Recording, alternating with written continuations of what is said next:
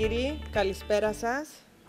Σας καλωσορίζουμε στο σημερινό σεμινάριο με θέμα πρόληψη του καρκίνου του προστάτη, το οποίο διοργανώνει η Ελληνική Τράπεζα στο πλαίσιο των δράσεών της για τη στήριξη του Movember Cyprus. Είναι τιμή μας που έχουμε μαζί μας τους γιατρούς Δ.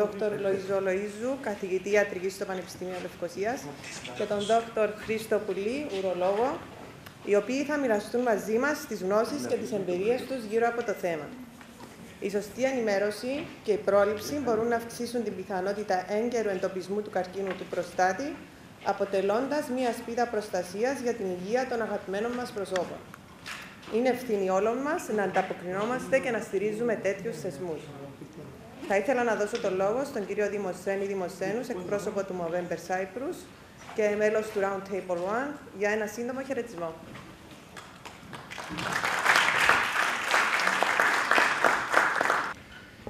Ε, σας χαιρετώ. Ε, ιδιαίτερα ευχαριστούμε σήμερα την Ελληνική Τράπεζα, η οποία από την πρώτη στιγμή αγκάγιασε το Movember ως Round Table και ως κίνηση Movember. Είχαμε την Ελληνική Τράπεζα από την πρώτη στιγμή μαζί μας. Απόψε, για πρώτη φορά δεν κάνω λάθος, διοργανώνει αυτό το σοβαρό σεμινάριο, να το πούμε, ε, ως ημερίδα για ενημέρωση για αυτό το πάρα πολύ σημαντικό θέμα του καρκίνου των όρχεων και του προστάτη, καθώς και της αντρικής ε, ψυχολογικής στήριξης, θεωρώ, διότι πρέπει να βλέπουμε πρώτα και απ' όλα την πρόληψη. Ως άντρες πρέπει να σπάσουμε τα ταμπού, να δούμε την ουσία να δούμε την ψυχολογική μας στήριξη, τον, την ιατρική φροντίδα μας και χρειαζόμαστε μεγάλους οργανισμούς όπως την ελληνική να προβάλλει αυτά τα, αυτά τα θέματα καλώντας εξειδικευμένους ιατρούς και την ευχαριστούμε ξανά πάρα πολύ την Ελληνική Τράπεζα για όλη τη συνεργασία που είχαμε αυτά τα τελευταία δέκα χρόνια και ευελπιστούμε στη συνέχεια να έχουμε ακόμα καλύτερη συνεργασία και να βοηθήσουμε πραγματικά τους άντρες του τόπου μας, οι οποίοι το χρειάζονται. Ευχαριστώ.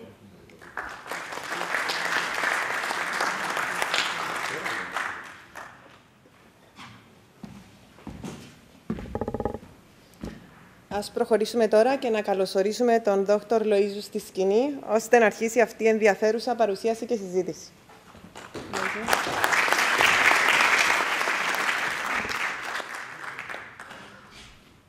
Αγαπητοί μου φίλοι, καλησπέρα σας. Ο καρκίνος του προστάτη περιγράφηκε για πρώτη φορά στη σύγχρονη βιβλιογραφία, στη σύγχρονη ιατρική βιβλιογραφία, το 1856. Εγώ προσωπικά γνώρισα τον καρκίνο του προστάτη ως φοιτητής της ιατρικής κάπου στο δεύτερο έτος το 1979 στις Βρυξέλλες, στο μάθημα της ανδρικής ανατομίας και είδα για πρώτη φορά καρκίνο του προστάτη σε άντρα και αυτό πραγματικά μου προκάλεσε φόβο. Και πιστεύω ότι σε πολλούς άντρες η λέξη καρκίνος του προστάτη με όλες τις προεκτάσεις που μπορεί να έχει προκαλεί φόβο. Διαδοχικά όμως, σταδιακά, με το πέρασμα του χρόνου, κατάλαβα ότι δεν ήταν η σωστή προσέγγιση και πραγματικά υπάρχουν πολλά που μπορούμε να κάνουμε για να αντιμετωπίσουμε την ασθένεια αυτή. Και γι' αυτό βρισκόμαστε εδώ μαζί απόψε, για τον λόγο αυτό, γιατί θέλουμε να εμπλουτίσουμε τις γνώσεις μας και θα ήθελα να μιλήσω αρχικά λίγο για το πώς θα προχωρήσουμε απόψε, το στόχο μας δηλαδή. Αρχικά θα, θα μιλήσουμε, ο στόχος μας είναι να μάθουμε περισσότερα για τον καρκίνο του προστάτη, πώς θα κάνουμε καλή πρόληψη, ανείχνευση ε, και διάγνωση. Θα δούμε πρώτα τις βασικές πληροφορίες. Στη συνέχεια θα καλέσω τον εξαίρετο εμπειρογνώμονα συνάδελφο που πρόσφατα επαναπατρίστηκε από το Ηνωμένο Βασίλειο για να του βάλουμε κάποιες ερωτήσεις πιο βαθύτερες μετά από μια αρχική συνοπτική παρουσίαση που θα σας κάνω, θα του βάλω εγώ συγκεκριμένες ερωτήσεις ευρέως ενδιαφέροντος και στο τέλος θα έχουμε περισσότερο από μια ώρα όπου ο καθένας σας μπορεί απλά και περιεκτικά να βάλει τις ερωτήσεις που τον απασχολούν πάντοτε στα πλαίσια του αντικειμένου μας απόψε. Θα δούμε αρχικά τις βασικές πληροφορίες, τι είναι ο προστάτης, οι αιτίες του, ποιοι είναι οι παράγοντες κινδύνου, την πρόληψη, τα ανοιχνευτικά τεστ και για την έγκαιρη διάγνωση. Α αρχίσουμε λοιπόν για το τι είναι ο προστάτης.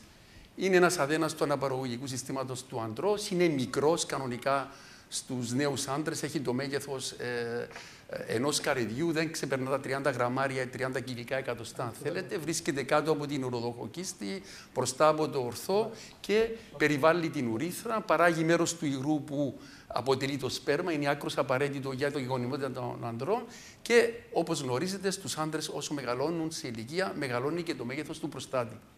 Οι συνήθει παθήσεις είναι η καλοήθη υπερπλασία του προστάτη, πολύ συχνή στους ηλικιωμένους άντρες, η προστατήτητα και ο καρκίνος του προστάτη. Στο διάγραμμα αυτό, έτσι απλά για να τοποθετήσουμε το πλαίσιο, να καταλαβαίνουμε καλύτερα, είναι μια τομή του ανδρικού συστήματος. Βλέπετε την ουροδόχο κίστη με μια κανονική κοιλότητα. Βλέπετε έναν κανονικό προστάτη, ο οποίος δεν πιέζει καθόλου και την ουρίθρα όπου διέρχονται τα ούρα. Εδώ είναι ένας υπερτροφικός προστάτης. Βλέπετε ότι έχει μεγαλώσει, πιέζει την ουρίθρα και επιπλέον η κοιλότητα της ουροδόχου κίστης μειώνει και γι' αυτό έχουμε τα γνωστά προβλήματα συχνουρίας, νυχτουρίας και κάποτε επώδυνης ούρησης κτλ. Εδώ μια ανάλογη απεικόνηση με, τον, με μια μορφή καρκίνου που είναι στην περιφέρεια. Συνήθως η καρκίνη του προστάτη είναι στην περιφερική ζώνη. Είναι για να δείτε περίπου σχηματικά για να έχουμε παραστάσεις για αυτά που θα, μιλούσουμε, που θα μιλήσουμε. Τώρα, να πούμε λίγα λόγια για τον καρκίνο του προστάτη διεθνώς και για τα στοιχεία μας στην Κύπρο. Νομίζω αυτή η παρέθεση είναι σημαντική στην παρουσίαση για να ξέρουμε καλύτερα να τοποθετήσουμε το πρόβλημα. Είναι πράγματι ο πρώτος σε συχνότητα καρκίνος των ανδρών, αν αφαιρέσουμε τους καρκίνους του δέρματος, διότι οι καρκίνοι του δέρματος συνήθως δεν απειλούν τη ζωή. Πολύ σπάνια όταν πρόκειται για μελάνομα. Αλλά από τους σοβαρούς καρκίνους που απειλούν τη ζωή, ο καρκίνος του προστάτη είναι ο συχνότερος και είναι η δεύτερη αιτία α, θανάτου λόγω καρκίνου μετά από τον καρκίνο του πνεύμονα.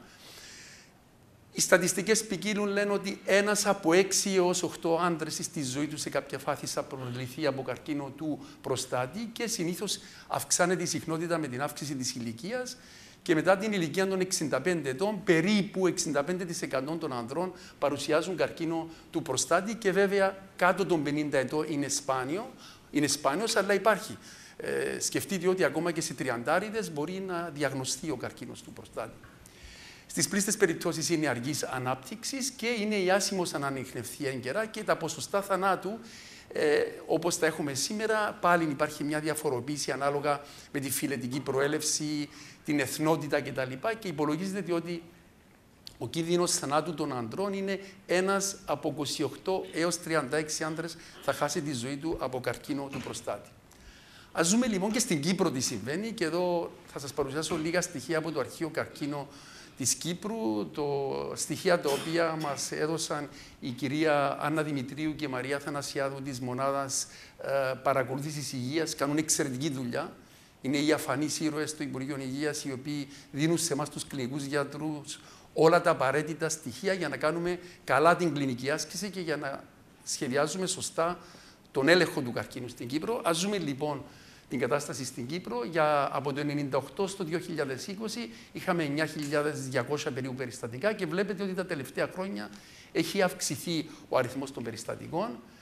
Εάν τα δούμε ανάλογα με την ηλικιακή ομάδα, βλέπετε ότι στους 30-34 είναι πολύ λίγα, αλλά υπάρχουν.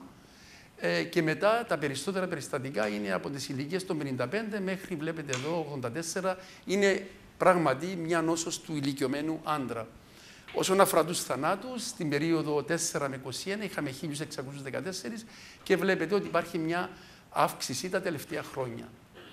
Ε, αν κατανέμουμε αναηλικιακή ομάδα τους θανάτους, βλέπουμε ότι είναι κυρίως στους ηλικιωμένους οι θανάτοι λόγω καρκίνου και αν λάβουμε υπόψη ότι μετά από τη διάγνωση περνούν τουλάχιστον πέντε χρόνια επιβίωσης ακόμα και στις δύσκολες περιπτώσεις μέχρι να καταλήξει ο ασθενής, αντιλαμβάνεστε γιατί είναι συνήθως στους ηλικιωμένους οι θανάτοι από καρκίνο του προστάτη.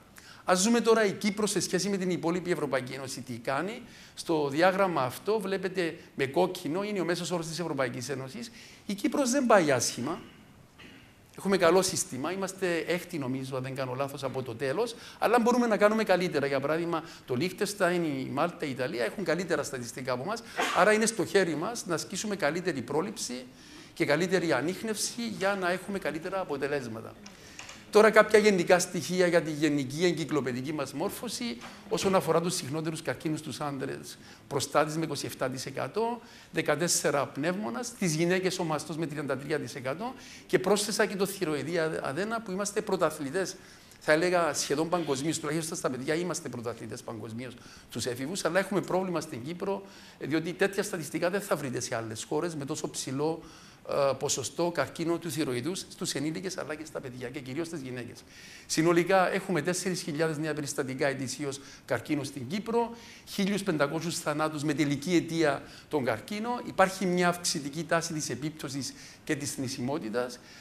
Ωστόσο, και γενικά για όλους τους καρκίνους, όπως και για τον καρκίνο του προστάτη, έχουμε μια χαμηλότερη θνησιμότητα από το μέσο όρο της Ευρωπαϊκής Ένωσης. Μπαίνουμε στο δεύτερο κεφάλαιο της σύντομης σύνοψης που θέλω να σας παρουσιάσω. Όσον αφορά την αιτιολογία, είναι σημαντικό να καταλάβουμε την αιτιολογία αν θέλουμε να ασκήσουμε αποτελεσματική πρόληψη. Στην ουσία δεν ξέρουμε πολύ καλά. Ξέρουμε ότι είναι ανομαλίες του DNA, αλλά την ακριβή αιτία ή αιτίες που το προκαλεί πιστεύουμε ότι είναι ένας συνδυασμός γενετικών, γονιδιακών και περιβαλλοντικών παραγόντων. Γνωρίζουμε όμως αρκετά για τους παράγοντες κινδύνου πάνω στους οποίους μπορούμε να παίξουμε. Ποιοι είναι αυτοί οι παράγοντες κινδύνου, ε, είναι η αύξηση της ηλικίας. Ε, είδαμε ότι είναι κυρίως μια πάθηση που αυξάνεται περισσότερα μετά από την ηλικία των 50 ετών, πώς υπάρχουν πολλοί μηχανισμοί, πρόκληση βλαβών στο DNA λόγω φθοράς ε, με το πέρασμα του χρόνου, το DNA δεν επιδιορθώνεται καλά, πολλοί τοξικοί παράγοντες από τη διατροφή, από το περιβάλλον που επηρεάζουν το DNA, με αποτέλεσμα να επέρχεται αλλίωση και καρκίνος του προστάτη. Η φιλετική προέλευση είναι ενδιαφέρουσα οι Αφροαμερικάνοι έχουν αυξημένο κίνδυνο σε σχέση με τους λευκούς και αν δούμε, αναλύσουμε τους λευκούς αναομάδες, βλέπουμε ότι οι Λατινοαμερικάνοι έχουν χαμηλότερο κίνδυνο από τους υπόλοιπους λευκούς που είναι οι Καυκάσοι όπως και εμείς στην Κύπρο. Παρόμοιοι μηχανισμοί, γονίδια, περιβάλλον, οικογενειακή προδιάθεση. Να καθαρίσετε στο μυαλό σας, γιατί πολλοί με ρωτούν τακτικά τη διαφορά μεταξύ οικογενειακής προδιάθεσης και κληρονομικότητας. Η οικογενειακή προδιάθεση σημαίνει ότι έχουμε αυξημένα περιστατικά κάποιας μορφής καρκίνου σε μια οικογένεια, χωρίς όμως να υπάρχει κληρονομικό γονίδιο. Είναι πολύ διαφορετικό από την κληρονομικότητα, όπου εκεί έχουμε γονίδιο που το παίρνουμε είτε από τον πατέρα μας είτε από τη μητέρα μας και έχουμε γονίδια τα οποία προδιαθέτουν για τον καρκίνο. Είναι δύο διαφορετικά πράγματα. Τώρα, όσον αφορά την οικογενειακή προδιάθεση, όταν έχουμε περιστατικά στην οικογένεια καρκίνου του προστάτη, τότε αυξάνεται και ο δικός μας κίνδυνος, ιδιαίτερα όταν πρόκειται για συγγενείς πρώτου βαθμού. Και οι συγγενείς πρώτου βαθμού είναι τα αδέλφια μας, ο πατέρας μας και τα παιδιά μας. Άρα εκεί έχει σημασία αυτό το πράγμα γιατί ε, εκεί οι γιατροί θα, θα είναι πολύ πιο προσεκτικοί όσον αφορά στην πρόληψη. Ξανά, γιατί συμβαίνει αυτό το πράγμα, παρόμοιοι μηχανισμοί. Ζουν στο ίδιο περιβάλλον, ίδιες συνήθειες, τρόπος ζωής μπορεί να παίζει ρόλο. Κληρονομικότητα. Αυτό που έχω αναφέρει πρωτήτερα είναι γονίδια που έχουμε πάρει είτε από τη μητέρα μας είτε από τον πατέρα μας. Υπάρχουν πάρα πολλά γονίδια. Όταν ήμουν φοιτητής, όταν γνώριζα ένα γονίδιο που προκαλούσε τον καρκίνο, ήμουν ενθουσιασμένος γιατί ξέραμε ένα γονίδιο. Τώρα συνεχώς ανακλείπτονται νέα. Για τον προστάτη έχουν μετρηθεί τουλάχιστον 100 μέχρι τώρα. Έχω βάλει τα κυριότερα που έχουμε και στην Κύπρο, όπως το ΠΡΑΚ 1 και το ΠΡΑΚ 2 που βλέπετε εκεί και άλλα. Και πολύ σημαντικό να τονίσω και τις επιγενετικές αλλαγές που πρέπει όλοι να γνωρίζουν, που δεν είναι ανομαλίες του ιδίου του DNA, αλλά των παραγόντων που επηρεάζουν τον DNA και ο τρόπος ζωής μας μπορεί να μην αλλάζει τον DNA, αλλά προκαλεί επιγεννητικές αλλοιώσεις που μπορούν να προάγουν τον καρκίνο. Άρα ο τρόπος ζωής έχει τεράστια σημασία στην πρόληψη του καρκίνου και θα τα δούμε με λεπτομέρεια. Παχυσαρκία και υπερβολικό βάρος σώματος. Αυτά αν ε, άκουγα χτε κάνοντας το τροχάδι μου 15 χιλιόμετρα για προπόνηση και ακούγοντα podcast για τον καρκίνο του προστάτη από σπουδαίους ειδικούς της Αμερικής με 400 δημοσιεύσεις. Ο πιο σημαντικός παράγοντας που μπορεί να παίξει ένας άντρας για να προλάβει τον καρκίνο του προστάτη είναι η παχυσαρκία. Πολύ σημαντικό. Παχυσαρκία και η άθληση. Οπότε να θυμάστε ότι η παχυσαρκία είναι βασικός παράγοντας που σχετίζεται με την πρόκληση του καρκίνου του προστάτη και το υπερβολικό βάρος σώματο. Υπάρχουν πολλοί μηχανισμοί, έχει μελετηθεί ευρέως αυτό το πράγμα, χρόνια φλεγμονή, αντίσταση στην ισουλίνη. Δεν θα μπούμε σε λεπτομέρειες, αλλά είναι γνωστοί αρκετοί μηχανισμοί διαμέσου των οποίων το υπερβολικό βάρος σώματος και η παχυσαρκία προάγουν τον καρκίνο. Το κάπνισμα.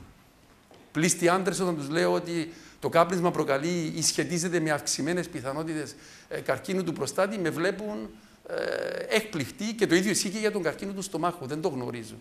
Το κάπνισμα έχει συσχετιστεί πολλές φορές με αυξημένο κίνδυνο ε, για καρκίνο του προστάτη και είναι πολλές οι τοξικές ουσίες, οι, οι τοξικοί μηχανισμοί που δημιουργούνται από το κάπνισμα και μπορούν να προκαλέσουν καρκίνο.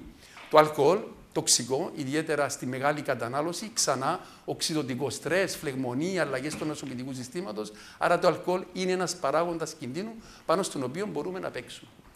Συνοπτικά, κάνουμε μια παύση τώρα, γιατί ήρθαμε εδώ για να εκπαιδευτούμε, να μάθουμε να μάθετε εσείς από εμάς, αλλά και εμείς να μάθουμε από εσάς μετά από τις ερωτήσεις σας. Αλλά ας ζούμε συνοπτικά παράγοντες κινδύνου, ηλικία, φιλετική προέλευση, οικογενειακή προδιάθεση, κληρονομικότητα, παχυσαρκία, κάπνισμα και αλκοόλ. Συγκρατήστε τα.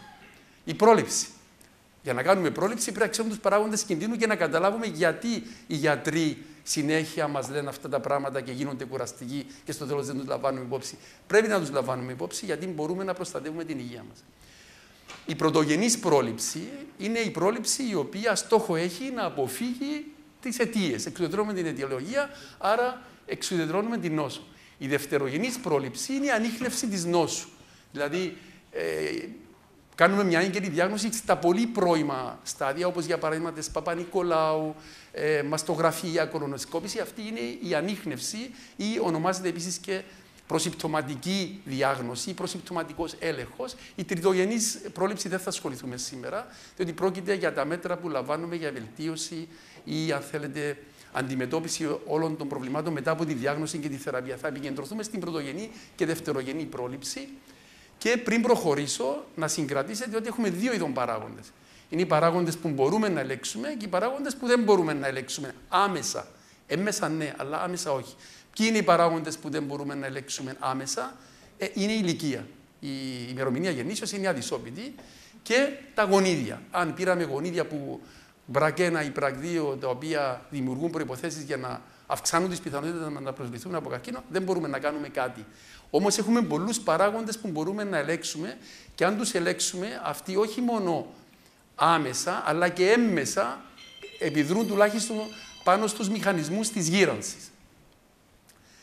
Πριν προχωρήσω, να θυμάστε οτιδήποτε είναι ωφέλιμο για την καρδία είναι ωφέλιμο και για τον προστάτη. Αυτό είναι ένα δόγμα, θέλετε, το οποίο πολλοί ερευνητές το προάγουν. Ό,τι είναι ωφέλιμο για την καρδία είναι ωφέλιμο και για τον προστάτη. Ξεκινούμε από τη διατροφή, διότι στη διατροφή πρέπει να δούμε πρώτα το είδος της διατροφής και την ποσότητα. Το είδος περιλαμβάνει τους εμπλουτισμούς και τους περιορισμούς. Α ξεκινήσουμε με τους περιορισμούς. Ξέρουμε ότι κάποια τρόφιμα η υπερβολική κατανάλωση τους συσχετίζεται με αυξημένο κίνδυνο πρόκλησης καρκίνου του προστάτη για πολλούς λόγους. Χολυστερόλη, ε, ζωικά λίπη, ε, κορεσμένα κτλ. Κόκκινο κρέας, ζωικά λίπη κορεσμένα, αλλαντικά με τα νητρικά που περιέχουν και τα κάπνιστα. Δεν σημαίνει ότι τα τρόφιμα είναι κακά. Εμείς τα χρησιμοποιούμε κακά. Είναι καλά όταν τα τρώμε με μέτρο. Άρα περιορισμός πάμε άριστο, γιατί η υπερβολική κατανάλωση αυτών των τροφίμων έχουν συσχετιστεί με αυξημένο κίνδυνο για καρκίνο του προστάτη. Εμπλουτισμός. Πολύ σημαντικό. Πώς θα δώσουμε στο κορμί μας έναν οπλοστάσιο από θρεπτικέ ουσίε οι οποίε θα μα προστατεύουν. Υπάρχουν αρκετά ντομάτες, καρπούζι λόγω του λικοπενίου και άλλων σημαντικών ε, συστατικών που περιέχουν και εδώ να προσθέσω για τις ντομάτες, για παράδειγμα, ότι είναι καλύτερα όταν είναι ψημένες, γιατί σπάζουν τα φυτικά κύτταρα και απελευθερώνεται λικοπένιο, αλλά επιπλέον να προσθέτετε και κάτι λιπαρό και το καλύτερο λιπαρό που μπορείτε, μπορείτε να προσθέτετε στην ντομάτα είτε ομή είτε ψημένη είναι το ελαιόλαδο, διότι το λικοπένιο απορροφάται με τη βοήθεια του λίπους. Άρα, το καλύτερο λίπος που μπορούμε να χρησιμοποιούμε είναι το λάδι, και εμείς προτιμούμε βέβαια το ελαιόλαδο, όχι ζωικά λίπη. Άρα, να έχετε υπόψη σας ότι με μέτρο βέβαια, όχι υπερβολές, ε, τροφές όπως η ντομάτα για παράδειγμα και τα όσπρια είναι καλύτερα με ελαιόλαδο. Ε, τα πράσινα φυλλώδη λαχανικά, φρούτα, βερίκοκα, τα, τα λιπαρά ψάρια, σολομός, σαρδέλα, κολλιός λόγω των ω3 και πάντοτε προτιμούμε τα, τα, όλες αυτές τις χρήσιμες ουσίες από τη φυσική διατροφή και όχι από τα συμπληρώματα που μας πολλούν. Θεμητά βέβαια, θέλουν να πωλήσουν οι άνθρωποι, η κάθε λογής εμπορευόμενη.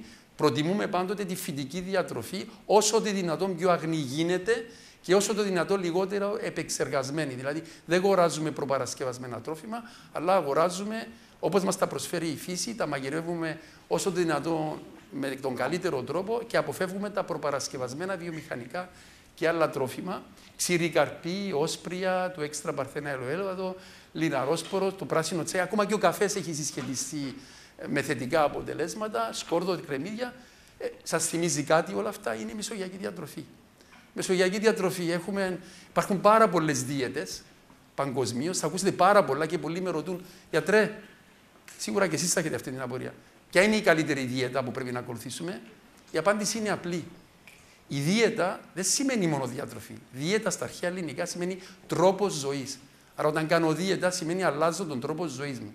Και αλλάζω όχι μόνο τη διατροφή μου για να προστατεύομαι από ασθένειες, αλλά και πολλά άλλα πράγματα.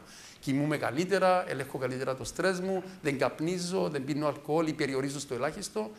Όλα αυτά είναι τρόπος ζωής. Αλλά όσον αφορά τη διατροφή, θα διαλέξετε εκείνο που μπορείτε να ακολουθείτε καλύτερα. Άλλοι μιλούν για α, β, μην λέω ονόματα, α, β, γ, άλλοι μιλούν για κετογενή κτλ. Το βασικό είναι ο περιορισμός των θερμίδων. Αυτό να συγκρατήσετε. Η καλύτερη δίαιτα είναι η δίαιτα την οποία μπορείτε, όσον αφορά τη διατροφή, που μπορείτε να την ακολουθήσετε. Δεύτερο κομμάτι που έχει σχέση άμεση με τη διατροφή είναι η πρόληψη της παχυσαρκίας με τη διατήρηση του κανονικού βάρους σώματος. Αυτά να τα συγκρατήσετε αυτές τις δύο μετρήσεις, το δίχτυ μάζα σώματος και την περίμετρο κοιλιάς, διότι οι περισσότεροι σας και ο περισσότερος κόσμος δεν το γνωρίζει. Αυτές οι δύο μετρήσεις που είναι δωρεάν, πρέπει να τις μάθετε να τις κάνετε σπίτι. Αν δεν τα καταλάβετε τώρα, ρωτήστε μας. Θα σας στείλουμε και σε βίντεο αυτά τα πράγματα, διότι όλοι σας έχετε εγγραφεί. Άρα θα τα πάρετε και σε βίντεο και όποτε θέλετε, πιάστε με τηλέφωνο να σα εξηγήσω. Πρέπει ο κάθε ένα μας μπορεί να μετρά το δίχτυ μάζα σώματος και την περίμετρο κοιλιά του. Αυτές οι δύο μετρήσεις έχουν παραπάνω αξία από πάμπολες εξετάσεις που μετριάτε και πληρώνετε 300-500 ευρώ σε κάθε, κάθε 6 μήνες ή κάθε 3 μήνες. Πληρώντα αυτά τα κριτήρια, προστατεύεστε πάρα πολύ. Με το δίχτυ μάζας σώματος και την περίμετρο κοιλιάς είναι δωρεάν. Μπορεί αυτή τη στιγμή να το κάνετε. Ο δίχτυς μάζας σώματος είναι το βάρος σας σε κιλά δια το τετράγωνο του ύψους. Εύκολο πράγμα να κάνετε. Και η περίμετρο κοιλιάς θα πάτε σπίτι να πιάσετε ένα μέτρο αυτό που έχουν οι ράφτενες, να το περάσετε γύρω από την. και να δείτε ποιες είναι οι μετρήσεις σας, γιατί αυτές οι μετρήσεις είναι καθοριστικές για την υγεία σας. Έχουν τεράστια σημασία. Να δούμε έτσι πολύ περιληπτικά. Ο δείχτης μάζα σώματο, όταν είναι πάνω από 25, αρχίζει ο κίνδυνος. Είναι το υπέρβαρη, πάντοτε χιλιόγραμμα ένα τετραγωνικό μέτρο. Και όταν είναι βέβαια παχύσαρκη τύπου 1, 2, 3, όσο μεγαλώνει ο δείχτης μάζα σώματο, τόσο αυξάνεται ο κίνδυνος. Γιατί σας έβαλα την περίμετρο κοιλιάς; Η περίμετρος κοιλιάς δεν είναι απλά μια ένδειξη του υπερβολικού βάρους, αλλά είναι μια ένδειξη της κατανομής του βάρους. Το σπλαχνικό λίπος που πολλοί άντρες έχουμε στην κοιλιά μας, που έχουμε τον τη σκεμπενούλη, αρκετοί μας, συγγνώμη για την έκφραση, ε, είναι επικίνδυνο διότι είναι ενεργός ιστός που παράγει πολλές ουσίες δηλητηριώτε για τον οργανισμό μας. Δεν θα μπω σε λεπτομέρειες, δεν είμαστε στο Πανεπιστήμιο για να κάνουμε μάθημα βιοχημίας και μεταβολισμού, αλλά πιστέψτε με, υπάρχουν πάρα πολλές ουσίες, θα μπορούσα να σα παριθμίσω 10 τώρα, οι οποίες προκαλούν καρκίνο, προκαλούν καρδιοπάθειες, προκαλούν εγκεφαλοπάθειε. Άρα, η περίμετρο κοιλιά σας επιτρέπει να καταλάβετε αν έχετε, αν έχετε αυξημένο το παθολογικό σπλαχνικό λίπος. Και οι άντρες έχουν κυρίως πλαχνικών λίπος, ενώ οι γυναίκες έχουν κυρίως ε, όπως το μήλο, ε, απίδι μάλλον. Οι άντρες είναι μήλο, οι γυναίκες είναι απίδι και όταν η περίμετρος κοιλιάς με τα στοιχεία που βλέπετε εδώ, σε εκατοστά βέβαια, ε, έχουν, είναι προτιμότερο να έχουμε κάτω από 102 και προτιμότερο ακόμα κάτω από το 94 ως άντρες. Άρα έχει σημασία γιατί το σπλαχνικό λίπος προάγει πολλές ασθένειες και τον καρκίνο του προστάτη. Η άθληση, άλλο ελιξίριο ιότητας πολύ σημαντικό, η άθληση ε, προάγει δραστηριοποίηση γονιδίων τα οποία αδρανοποιούνται λόγω παρόδου χρόνου. Έχει αποδειχθεί σε μελέτες με βιοψίες. Άρα η άθληση ενεργοποιεί γονίδια που διορθώνουν το DNA, αλλά είναι πολύ σημαντικό. Συγγνώμη. Και εδώ να τονίσω ξανά το ρόλο της φυτοβαγικής διατροφής και της άθλησης.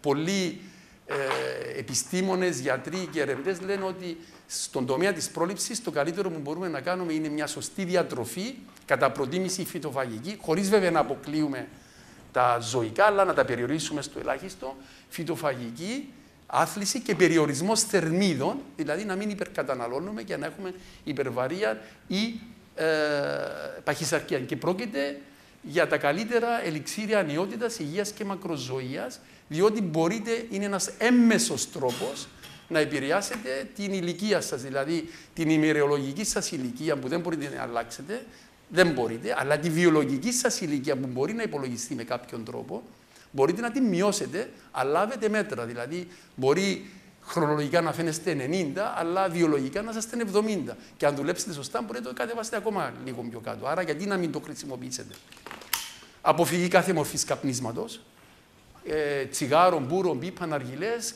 και μια, ένα άλλο σεμινάριο που θα κάνουμε θα είναι για το ηλεκτρονικό τσιγάρο και τη μάστιγα του ατμίσματος που βασανίζει τα παιδιά μας. Και αν δεν λάβουμε μέτρα, και αν οι νομοθέτε, έχουμε και βουλευτές εδώ, έχω δει τον κύριο Θεοπέμπτου, πρέπει να το προάγετε κύριο Θεοπέμπτου, ε, να απαγορευτεί αυτό η μάστιγα, διότι τα παιδιά από το δημοτικό εθίζονται. Κάντε μια βόλτα στα περίπτερα της γειτονιάς σας και θα δείτε ότι τους τελευταίους έξι μήνες έχουν αναβαθμίσει όλοι τα ράφια τους, τα έχουν πολλαπλασιάσει με κάθε λογής αυτά τα δηλητηριώδη συσκευάσματα τα οποία τα παιδιά μας και μεγαλύτεροι τα χρησιμοποιούν, διότι τα, οι βιομήχανοι τα έχουν κάνει με τέτοιο τρόπο που έχουν γίνει πολύ ελκυστικά. Άρα, πολύ σημαντικό να θυμάστε ότι κάποιος που σταματά το κάπνισμα χρειάζονται από 5 έως 10 χρόνια για να ξεπεραστεί το ρίσκο. Ο ρόλος του αλκοόλ, έχω αναφέρει ότι είναι τοξικός ιδιαίτερα σε μεγάλη κατανάλωση. Αν σας αρέσει και θέλετε να πιείτε οπωσδήποτε, μην ξεπερνάτε τα 30 γραμμάρια ημερησίως. Εύκολο να το υπολογίσετε. Η μπύρα είναι 5 γραμμάρια στα 100 ml. Μια μπύρα στάνταρ που πίνουμε έχει 300 ml περίπου, 3 5, 15 και ποτήρια μπύρας, όχι περισσότερα. Για να τηρούμε αυτά που συστήνουν οι διεθνείς οργανισμοί. Βέβαια, σε περίπτωση που έχουμε, στα πλαίσια της πρόληψης, σε περίπτωση που έχουμε ιστορικό κληρονομικότητας ή οικογενειακής προδιάθεσης, πρέπει να γίνεται στενότερη παρακολούθηση και ενημέρωση και εκπαίδευση όλο για τον καρκίνο. Και εδώ θα σταθώ λίγο για τον ρόλο των γυναικών. Οι γυναίκες έχουν καθοριστικό ρόλο να παίξουν, διότι συμμορφώνονται καλύτερα στις οδηγίες, ακολουθούν καλύτερα τις θεραπείες, κάνουν καλύτερα τα τεστ τους και έρευνες στις ΗΠΑ έχουν δείξει ότι στις περιπτώσεις του καρκίνου παχαίου εντέρου, για παράδειγμα, ευαισθητοποιώντας τους άντρες του περιβάλλοντος, τους είτε συζύγους, φίλους, συγγενείς κτλ., κάνουν πιο εύκολα την κολονοσκόπηση με αποτέλεσμα να σώσονται ζωές. Άρα οι γυναίκες έχουν καθοριστικό ρόλο και χαίρομαι που έχει αρκετές γυναίκες μαζί μας απόψε, αλλά πρέπει και εσείς να γίνετε πυρήνες μετάδοσης αυτών των μηνυμάτων. Μια ανακεφαλαίωση, τι έχουμε πει για την πρόληψη, διατροφή στο ίδιο, εμπλουτισμοί, περιορισμοί, διατήρηση κανονικού βάρους σώματος, άθληση, αποφυγή κάθε μορφής καπνίσματος, περιορισμός αλκοόλ, στενότερη παρακολούθηση επιστορικού ύποπτου και ενημέρωση και εκπαίδευση όλων. Τελειώνοντας, θα μιλήσω λίγο για τα ανοιχτευτικά τεστ και εδώ μπαίνουμε στα δύσκολα κεφάλαια και γι' αυτό θα ευχαριστήσω και τον δόκτωρα Χρήστο Πουλή που είναι μαζί μας απόψε, τον, ο οποίος θα μας εμπλουτίσει με τις γνώσεις του πάρα πολύ στον τομέα αυτό. Αλλά ζούμε έτσι μια ανασκόπηση για να ε, βάλουμε το πλαίσιο. Η δαχτυλική εξέταση μια απλή εξέταση, ανώδυνη, όταν γίνεται από έναν έμπειρο ε, ε, γιατρό, η οποία βλέπετε ένα εκατοστό από τον προχτό βρίσκεται ο προστάτης και ένας έμπειρος γιατρός μπορεί πάρα πολύ εύκολα να δει, είναι με διαρκή μερικά δευτερόλεπτα η εξέταση. Δεν είναι μια εξέταση, αν θέλετε, που θα δώσει όλη την πληροφόρηση, αλλά είναι ένα καλό τεστ το οποίο δίνει αρκετή. Αν για παράδειγμα βρει ένα σκληρό οζίδιο, θα τον οθήσει πολύ πιο εύκολα να προχωρήσει σε περαιτέρω εξετάσεις. Το PSA, δύσκολο κεφάλαιο, ε, και καλό και πολύτιμο, αλλά και κάποτε δύσκολο στη διαχείρισή του, για να μην πω επικίνδυνο. Ε, είναι πρωτεΐνη που παράγεται μόνο από τον προστάτη, είναι δείχτης στο αίμα, κυκλοφορά σε πολύ μικρές ποσότητες που διαφεύγουν από τον προστάτη, βοηθά για την παρακολούθηση της υγείας του προστάτη, αλλά όπως πιθανόν να έχετε ήδη ακούσει, αυξημένο PSA δεν σημαίνει κατά ανάγκη ε, καρκίνο του προστάτη. Υπάρχουν και άλλες παθήσεις, προστατήτηδα, ε, καλοήθηση υπερπλασία του προστάτη ή ακόμα η σεξουαλική δραστηριότητα, η ποδηλασία, η δαχτυλική έκσταση και άλλα μπορούν να αυξήσουν το επίπεδο PSA στο αίμα, άρα θέλει προσοχή. Από ποια ηλικία πρέπει να γίνεται συστηματικά, εδώ θα δείτε ότι υπάρχουν κατευθυντήριες γραμμές αντιφατικές. Ε, άλλες στην Ευρώπη, άλλες στην Αμερική, άλλες μεταξύ των η, αν θέλετε, η κοινή συνιστόσα που επικράτει είναι ότι πρέπει να είναι εξατομικευμένα. Δηλαδή, ο κάθε άντρας πρέπει να μιλά με τον γιατρό του ή και με τον ουρολόγο του, ανάλογα με το ιστορικό του, ανάλογα με τα ευρήματα των εξετάσεων που κάνει ο γιατρός κτλ. Θα αποφασιστεί από τον γιατρό, θα συστήσεις στον ασθενή του ε, με ποια συχνότητα θα κάνει αυτά τις εξετάσεις. Το PSA επιπλέον δεν είναι εύκολη η εξέταση να ερμηνευτεί, διότι υπάρχει το σύνολο, υπάρχει το, το, η ποσοστία αναλογίας σε ελεύθερο PSA που όταν είναι πολύ χαμηλό είναι πιο ύποπτο, όταν είναι αρκετά ψηλό πέρα από το 20 ή πέρα από το 30 μειώνει το δίχτυ υποψίας. Η πυκνότητα του, εδώ είναι πολύ σημαντικό και νομίζω πρέπει να το μεταφέρουμε αυτό το πράγμα. Δεν νοείται να λέμε έναν αριθμό. Έχω PSA τόσα. Και ρωτάς τον καλά, ο, είσαι 70 χρονών, έχεις PSA 7. Ε, πόσο είναι ο, ο προστάτης σου, μάνα μου, είπε ο γιατρός, όχι μου είπε τίποτε. Ε, ε, κάνουν και βιοψία και δεν ξέρουν πόσο είναι ο, ο όγκος του προστάτη τους. Διότι έχει τεράστια σημασία.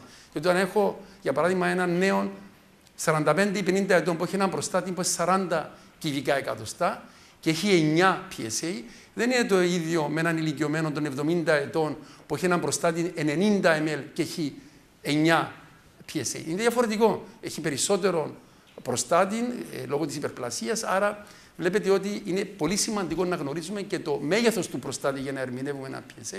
Μάλιστα οι επιστήμονες μιλούν για την πυκνότητα και ανάλογα με την τιμή αποφασίζεται πόσο ύποπτο είναι ή όχι. Για να λυθούν τα προβλήματα του PSA υπάρχουν διάφορες άλλες εξετάσεις με τις ισομορφές του PSA. Δεν θα πούμε σε λεπτομέρειες. Ε, ο γιατρός ο Πουλής θα μας τα εξηγήσει καλύτερα πότε αποφασίζει να κάνει ένα από αυτά. Αλλά ε, υπάρχουν διάφορες μεθόδοι ε, με ανάλογα ένζημα, κάποια σκορ κτλ. Ε, νομίζω δεν θα ενσκύψουμε περισσότερο σε αυτά. Το υπερηχογράφημα, ε, το διορθικό, πολύτιμη εξέταση και η μαγνητική τομογραφία κάθε φορά που ο γιατρός μας, ο ορολόγος μας θα το αποφασίσει. Συνοπτικά, οι ανοιχνευτικέ εξετάσεις, η δαχτυλική, το PSA, τα διάφορα παράγωγα που χρησιμοποιούν το PSA, διάφορα σκορ που υπολογίζονται ή ακόμα η περίπτωση εδώ του PCA3, να το αναφέρω αυτό, είναι η μελέτη στα ούρα μετά από μασάζ του προστάτη ε, στοιχείων από το ονδιακό υλικό καρκίνου. Είναι πολύ εξειδικευμένες εξετάσεις που ο ουρολόγος θα αποφασίσει και το υπερογράφημα και η μαγνητική τομογραφία, η πολυπαραμετρική με τον μαγνητικό τομογράφο 3 Τέσλα οπωσδήποτε.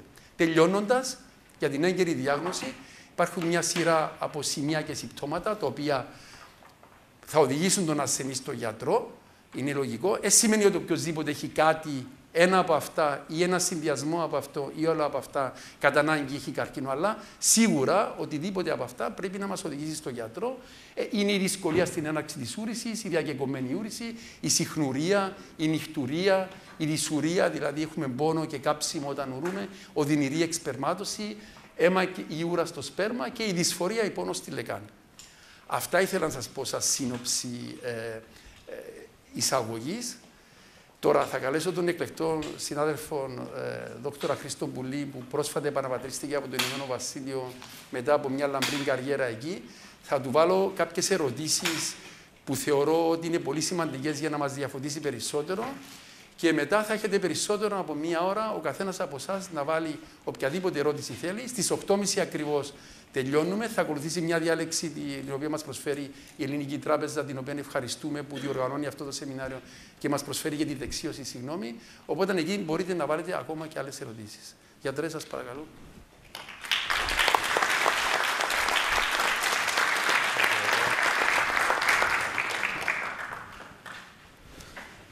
Ξεκίνησες το μικρόφωνο σου, εντάξει. Ξεκίνησα το νομίζω.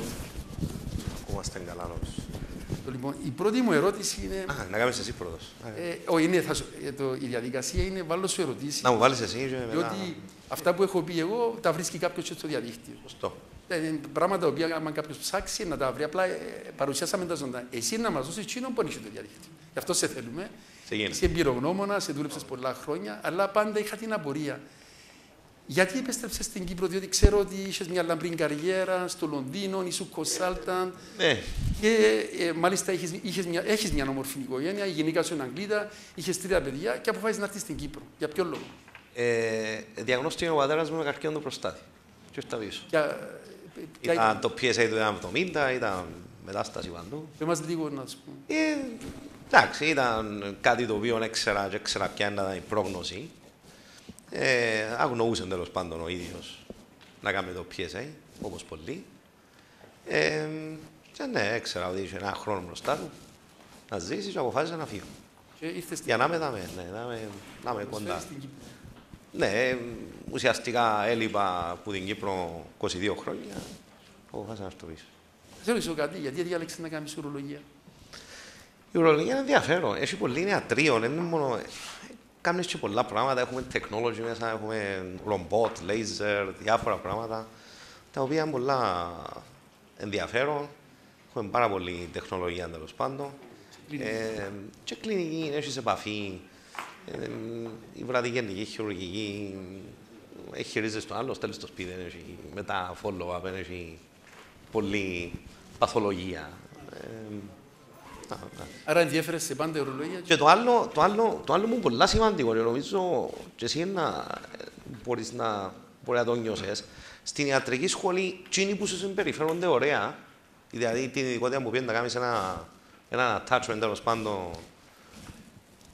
και επικοινωνείς, έχουν ένα σύντος τέλος πάντων προσωπικότητων, το οποίο ταιριάζει και μετά αποφασίζεις και κάνεις και την ειδικότητα, συνήθως. Ακριβώς, έχεις απόλυτο δίκιο.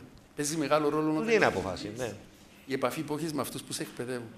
Μπορεί να μας πεις λίγα λόγια για τις κυριότερες αιτίες επίσκεψης που έρχονται ασθενείς και βλέπουν έτσι. Μίλα μας λίγο ε, αιτίες επίσκεψης και την καθημερινότητα σου. Τι, τι κάνεις κάθε μέρα, ας πούμε; Κοίτα, το, το, το περισσότερο είναι τα θέματα με την καλοήθινη υπερπλασία, το οποίο είναι κάτι εντελώς διαφορετικό. Ε, διαφορετική πάθηση, διαφορετική παθολογία, αλλά ε, αυτό που να σου δώσει τα συμπτώματα. Ε, Δηλαδή, συγγνώμη που σε, η κυριότερη αιτία επίσκεψης είναι προβλήματα σε σχέση με την καλοήθεια. ναι, με καλοήθινη προστάση. Okay. Ε, φυσικά για άλλα θέματα εξαρτάται και από την υποειδικότητα σου. Σαν ας πούμε, βλέπω ε, πολλούς με πέτρες, βλέπω... Και υπάρχουν και Εξαρτάται. πέτρες στο προστάτη, να, που ο κόσμος δεν το ξέρει. Υπάρχουν, ναι. Υπάρχουν, Υπάρχουν, πέτρες στο αλλά προστάτη το οποίο είναι παγιές προστατήτητες, οι οποίες... Και εντάξει. που μπορεί να είναι και μια αιτία αύξησης του PSA. οι πέτρες στο Σωστό, σωστό. Είναι, είναι κάτι το οποίο δείχνει φλεγμονή μετά από 6 μήνες περίπου. Το οποίο αυξάνει το PSA. Α πούμε, τα κυριότερα συμπτώματα όταν έρχονται να σε δουν είναι, ε, σου λέει γιατρέ, μπορώ να ουρήσω ή. Ναι, με κάποια δυσκολία στην ούρηση, κάποια νυχτουρία να σηκώνεται πάνω τη νύχτα. Ε, λίγο πρόβλημα έτσι, στο ξεκίνημα, διακεκομμένη ούρηση. Ε, τα οποία αυτά είναι θέματα υπερπλασίας. Και βρίσκουμε το, το PSA κάπως ευκαιριακό. Δηλαδή έρχεται να σε δει για κάτι, ε, ρωτάς τέλος πάντων κληρονομικότητες κτλ. Ε, συγγενικά πρόσωπα αν είχαν κανένα πρόβλημα. Ε, και μέσω της εξέτασης ε, κοιτάζεις λίγο και το PSA. Ε, το ίδιο είναι στην Αγγλία, το ίδιο είναι και στην περισσότερη. Παρόμοια- Σε όλη την Ευρώπη. Η Είναι. άσκηση της Ε, ε, το, το μεγάλο πρόβλημα το τι πρέπει να κάνεις με τον προστάτη δεν ξέρει κανένας. Δηλαδή, πώς τον παρακολουθείς, πώς μπαίνεις σε ένα πρόγραμμα διάγνωσης καρκίνου του προστάτη. Ε, ε, ε, πάρα πολύ δύσκολο. Πάρα πολύ δύσκολο να το επιβάλλεις, δηλαδή, δύσκολο να το βάλεις. Ε, πολύ ακριβό, όπως είδατε, εκεί είναι τα τεστ, τα 4K κτλ. Μιλούμε για 700-800 ευρώ. Θα σε ρωτήσω, Ε, στην άσκηση σου την κλινική, ποιος ήταν ο μεγαλύτερος προστάτης που έχεις δει ποτέ σε μέγεθος; Α, ε, 500. 500. 500. Ένα μεγάλο πορτοκάλι. Αφροκαριβία. Αφροκαριβία έχουν τεράστιους προστάτες. 500. Στην Κύπρο, ο πιο μεγάλος που έχεις Στην δει. Κύπρο 200. Είναι σημαντικό να καταλάβει ο κόσμος την αύξηση του μεγέθους του προστάτη που μειώνει την κοιλότητα της κίστη και αυξάνει και το PSA. Εκτός από την καλοήθινη υπερπλασία του προστάτη, τι άλλα προβλήματα βλέπεις συνήθως στην πράξη σου; Είναι πολλά λόγιζο. Εντάξει, ε, ξαναλέω, ας πούμε, ε, και θέμα της υποειδικότητας σου. Δηλαδή, αν, ε, επειδή κάνω πολύ υπογονιμότητα, ε, βλέπεις πολλά θέματα με εκείνον, το οποίο κάτι που πρέπει να, να το δούμε πάρα πολύ σοβαρά. Γιατί τώρα μιλούμε για ανθρώπους που πεθανίσκουν, μιλούμε για ανθρώπους που γεννιούνται. Γιατί η υπογονιμότητα έφτασε σε κορυφαία επίπεδα. Ε, Αλλά όσον αφορά τον προστάτη, είναι κυρίως πόσο συχνά έρχεται κάποιος με αίμα στα ούρα, ας πούμε, που μπορεί να έχει σχέση με καρκίνο του προστάτη, άσχετα από τις πέτρες. Πολλά σπάνια. Ε, πολλά σπάνια. Άρα ο καρκίνος του Πολλά προστάτη σπάνια. εξελίσσεται συνήθως χωρίς συμπτώματα. Χωρίς συμπτώματα Πολύ καθόλου. σημαντικό να το τονίσουμε αυτό το πράγμα. Ωραία. Τώρα έθε- ήθελα να μπούμε στο κομμάτι να μας πεις την εμπειρία σου όσο- όσον αφορά τις διαφορετικές μεθόδους προσυμπτωματικού ελέγχου. Το PSA. Διότι εκείνο που φοβίζει τους άντρες είναι και η βιοψία, βέβαια. Σωστό. Αλλά και το τι είναι να προκύψει η βιοψία και οι μέθοδοι θεραπείας που θα ακολουθήσουν. Δεν νομίζω να έρθει κανένας στο ιατρείο να, να ενθουσιασμένος να κάνει βιοψία. Αλλά το. Να πούμε πρώτα για το PSA. Το PSA ε, είναι κάτι το οποίο παράγει ο προστάτη, είναι μια καλή κρεΐνη, ένα είδος πρωτενη, περίπου 400 κάτι αμινοξέα, ε, το οποίο υγροποιεί το σπέρμα. Η δουλειά του είναι να υγροποιήσει το σπέρμα. Ε, το οποίο βοηθά το να περάσει τον τράχυλο, να μπει στη μήτρα, να γονιμοποιήσει. δεν παράγει παραπάνω PSA ο καρκίνος του προστάτη. Παραπάνω δραπετεύει, γιατί σπάζει η αρχιτεκτονική που είναι ο αδένας, το οποίο εκκρίνεται το PSA. Σημαντικό το που ξανά. Ε, ε, σημαντικότατο. Να το καταλάβουμε Ναι, καλύτερα. το PSA δεν, το, ο, ο καρκίνος του προστάτη δεν παράγει παραπάνω PSA. Επειδή σπάζει η αρχιτεκτονική του προστάτη, τότε παραπάνω PSA δεν το ξέρω. δεν εκκρίνεται και μπαίνει μέσα στο κυκλοφοριακό σύστημα Οκ. και αυτό αυξάνεται. Μάλιστα, ένας άσχημος καρκίνος του προστάτη δεν παράγει PSA γιατί μεταλλάχτηκε τόσο πολλά που δεν παράγει καν PSA. Μάλιστα. Άρα ε, το PSA είναι κάτι το οποίο βρίσκουμε παραπάνω σε κάποιον το οποίο ε, έσπασε τέλος πάντων η αρχιτεκτονική του προστάτη του. Είτε εκείνο είναι προστατήτητα, είτε είναι καρκίνος του προστάτη. Ε,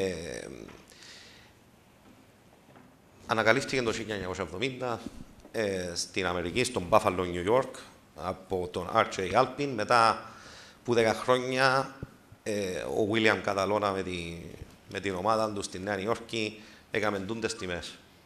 Που βλέπετε όταν κάνουμε την ανάλυση μας, που έρχεται κάτω από 4, κάποτε βάλουν τον με, το, με την ηλικία, το οποίο είναι σ- απλή στατιστική. Ε, έπιασε μια στατιστική της RAF, του Δεύτερου Παγκοσμίου Πολέμου, όταν έκαμε η RAF τον Αντάρ, και βλέπετε τις τελείες, κάμνα στατιστική ανάλυση αν είναι γερμανικό αεροπλάνο ή όχι. Με τον ίδιο τρόπο, το πάνω από 4 σημαίνει αξίζει τον κόπο να πάνε να το διερευνήσεις. Φυσικά, τούτο είναι κάτι που ξεπεράστηκε, γιατί τώρα κάνουμε παραπάνω PSA, άρα έχουμε τον Λοΐζο, παραδείγματος χάρη, τον Κώστα, ο οποίος έχει ένα PSA το οποίο είναι 1,5 και ξαφνικά πετάσσεται στο 2,5. Πάλι να το κοιτάξεις κοινό, δεν σημαίνει αν είναι κάτω από 4. Το κάτω από 4 είναι για τους ευκαιριακούς. Άρα το PSA από μόνο του δεν λέει πολλά Δεν πράγματα. λέει πολλά πράγματα, αλλά εν τούτο που λέμε Λαμβάνουμε γιατί... αποφάσεις μόνο με το PSA. Σωστό. Μίλα μας λίγο για το ελεύθερο PSA και για το τις διάφορες ισομορφές. Ναι, το ελεύθερο PSA εμ, Την πυκνότητα. Σωστό. Ε, το ελεύθερο PSA, όσο παραπάνω ελεύθερο PSA έχουμε, τόσο λιγότερη πιθανότητα καρκίνου του προστάτη. Αυτό διαιρείται διάμας τούτον το, το percentage που μίλησε ο Λοΐζος πριν, το οποίο αν είναι κάτω από 10, σχετικά σημαντικό, έχει ένα correlation με καρκίνο του προστάτη, πάνω από 20-25 συνήθως είναι ok. Και υπάρχει τούτον το, το gray area. Ε, μερικοί αφισβητούν το, μερικοί κάνουν το, μερικοί δεν το κάνουν. Ε, μπαίνει και στο θέμα κόστους, σε συστήματα υγείας κτλ. Ε, το ISO PSA που ανάφερες, ε, βγήκε στην επιφάνεια το Σεπτέμβριο του 19, 18-19. Είναι μια ισομορφή, ένα, ένα, ένα ζήμον ανάλογο Ναι, το PSA έχει πάρα πολλές ισομορφές. Πάρα πολλές ισομορφές. Ε, το οποίο τώρα καλύφθηκε φαίνεται λίγο πιο ε, έγκυρο, πιο accurate τέλος πάντων, αλλά ακόμα να βγει. Τι είναι εκείνο που στη- εσάς σας βοηθά περισσότερο στο να αποφασίσετε για τη βιοψία. Κάνεις την κλινική εξέταση, για παράδειγμα μπορεί να με βρεις κάτι ύποπτη στην δαχτυλική, κάνεις ε, το PSA, θωρείς το free PSA, βλέπεις την ταχύτητα, βλέπεις την πυκνότητα. Τούτα είναι βασικά στοιχεία που όλοι πρέπει να Η γνωρίζουν. πυκνότητα είναι πολύ σημαντικό γιατί όπως είπες και εσύ, αν έχεις έναν προστάτη που είναι πέντε και μικρός, είναι πιο ύποπτος από έναν προστάτη που είναι τεράστιος και είναι πέντε. Γιατί ο μεγάλος ο προστάτης δικαιούται το πέντε. Και η πυκνότητα, για να καταλάβει ο κόσμος, είναι, όγκο- είναι το PSA διαιρεμένο από τον όγκο. δηλαδή πόσο PSA παράγεις ανά κυβικό εκατοστό προστάτη, το οποίο μετρούμε με το ultrasound, το οποίο δεν είναι τόσο accurate, αλλά ε, διάσου μια καλή ιδέα. Ε, και βάσει της πυκνότητας μπαίνει η κατηγοριοποίηση του χαμηλού ρίσκου, ε, χαμηλού με μέσου, μέσου ρίσκου κτλ. Ε, και ψηλού ρίσκου. Ε, το οποίο γίνεται σημαντικό σε περίπτωση που έχεις κάποιον ο οποίος έχει μεγάλο ψυχο- ψηλό PSA, ε, βάλλοντας μέσα τη μέτρηση στο MRI, το MRI ε, να το εξηγήσουμε εντός, εντός γίνεται το MRI, να συγχύσουμε τον κόσμο. Όχι, το, το MRI είναι μαγνήτης, οκ; Ο μαγνήτης μεινίσκει αναμμένος και προσανατολίζει τα μόρια του νερού μέσα στο σώμα. Και μετά σβήνει, α, στέλνουν μια συχνότητα, μια ενέργεια, την οποία πιάνει και ανάφκει ένα λόγος σε διάφορες μορφές. Άρα απεικονίζει το, Απεικονίζει το προστάτη το με μαρά. τον γκρίζο. Ε, όταν, έχουμε, όταν έχουμε έναν καρκίνο του προστάτη, η πυκνότητα των, ε, των κυτάρων είναι πολλά πιο σφιγμένα, πολλά πιο στενά. αφήνουμε το MRI ανοιχτό και βλέπουμε εντάλλως περνά το νερό που μέσα στον ιστό και που δυσκολεύκεται και που νομίζουμε ότι έχει καρκίνο του προστάτη. Έτσι Για τούτον ε, αναφέρεσαι πλέον στο πολυπαραμετρικό MRI, Το πολυματρικό το MRI, οποίο είναι σωστό. το επόμενο στάδιο. Μάλιστα. Πριν, πριν φτάσουμε, Ναι. για μένα όμως ήθελα να μου πεις πώς εσύ ε, να αποφασίσεις να στείλεις έναν πάει ασθενή MRI. να κάνει το πολυμάτριο.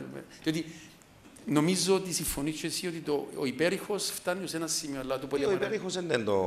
το- Ακόμα και το διορθικό. Ο υπέρ- Ο υπέρηχος έχει να σου δώσει την παραπάνω την πυκνότητα παρά τίποτε άλλο. Τον όγκο, Τον όγκο. ώστε να μπορείς Ναι, να γι' κάνεις αυτό. την, την Ενώ πυκνότητα. στέλνεις τον ασθενή να κάνει πολυμαρραμετικό MRI για να δεις καλύτερα ακριβώς τι είναι τις Ο περιοχές. ιδιώτη θα ήταν να ήταν κάποιος ασθενής ο οποίος έρχεται συχνά, ξέρεις πού κυμαίνεται το PSA του. Όταν δεις το PSA και πάει πάνω, σε δύο τιμές, δηλαδή μια φορά αύξηση, οκ, δικαιούται τη, λέει του Λοΐζο, έλα μετά από δύο μήνες ξανά να το επαναλάβουμε. Αν μείνει ψηλό ή αυξηθεί ακόμα παραπάνω, τότε να στείλεις για MRI. MRI. Φυσικά και η δαχτυλική, αν δεις κάποιο Βέβαια. αν νιώσεις κάτι που δεν σου γεμίζει το μάτι, τώρα έχεις και εκείνο εκείνο το six sense καμιά φορά έτσι, Το κλινικό αίσθημα. το κλινικό είναι σημαντικά είναι καλά. Ναι, ναι, τούτο είναι, ξέρω το και που τη Ότι κάτι είναι καλά. Ε, Βασικά για να δω- που είναι βοηθήσουμε. δύσκολο να το εξηγήσεις. Πραγματικά πολλά δύσκολο να το εξηγήσεις. Βα- Βασικά για να βοηθήσουμε τον κόσμο να καταλάβει καλύτερα, η προσέγγιση είναι πολύ παραγωγική. Είναι ένα puzzle, πιάνεις διάφορα κομμάτια, τα οποία συνεχώς αυξάνουν σου το δίχτυ υποψίας, χωρίς ποτέ να είσαι σίγουρος. Και από ένα σημείο και μετά λέει: Θα μην τα κάνω βιοψία. Ναι. Σωστά. Ναι.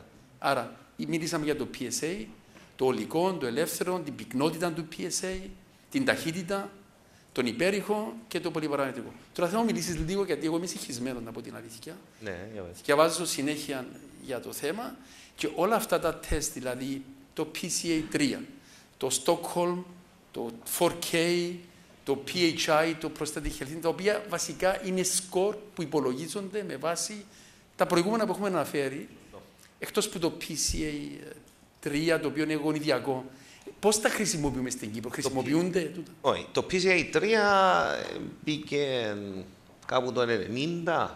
Το, το, το, ναι, ε, ε, Τόσο πάρα παλιά. πολύ καιρό.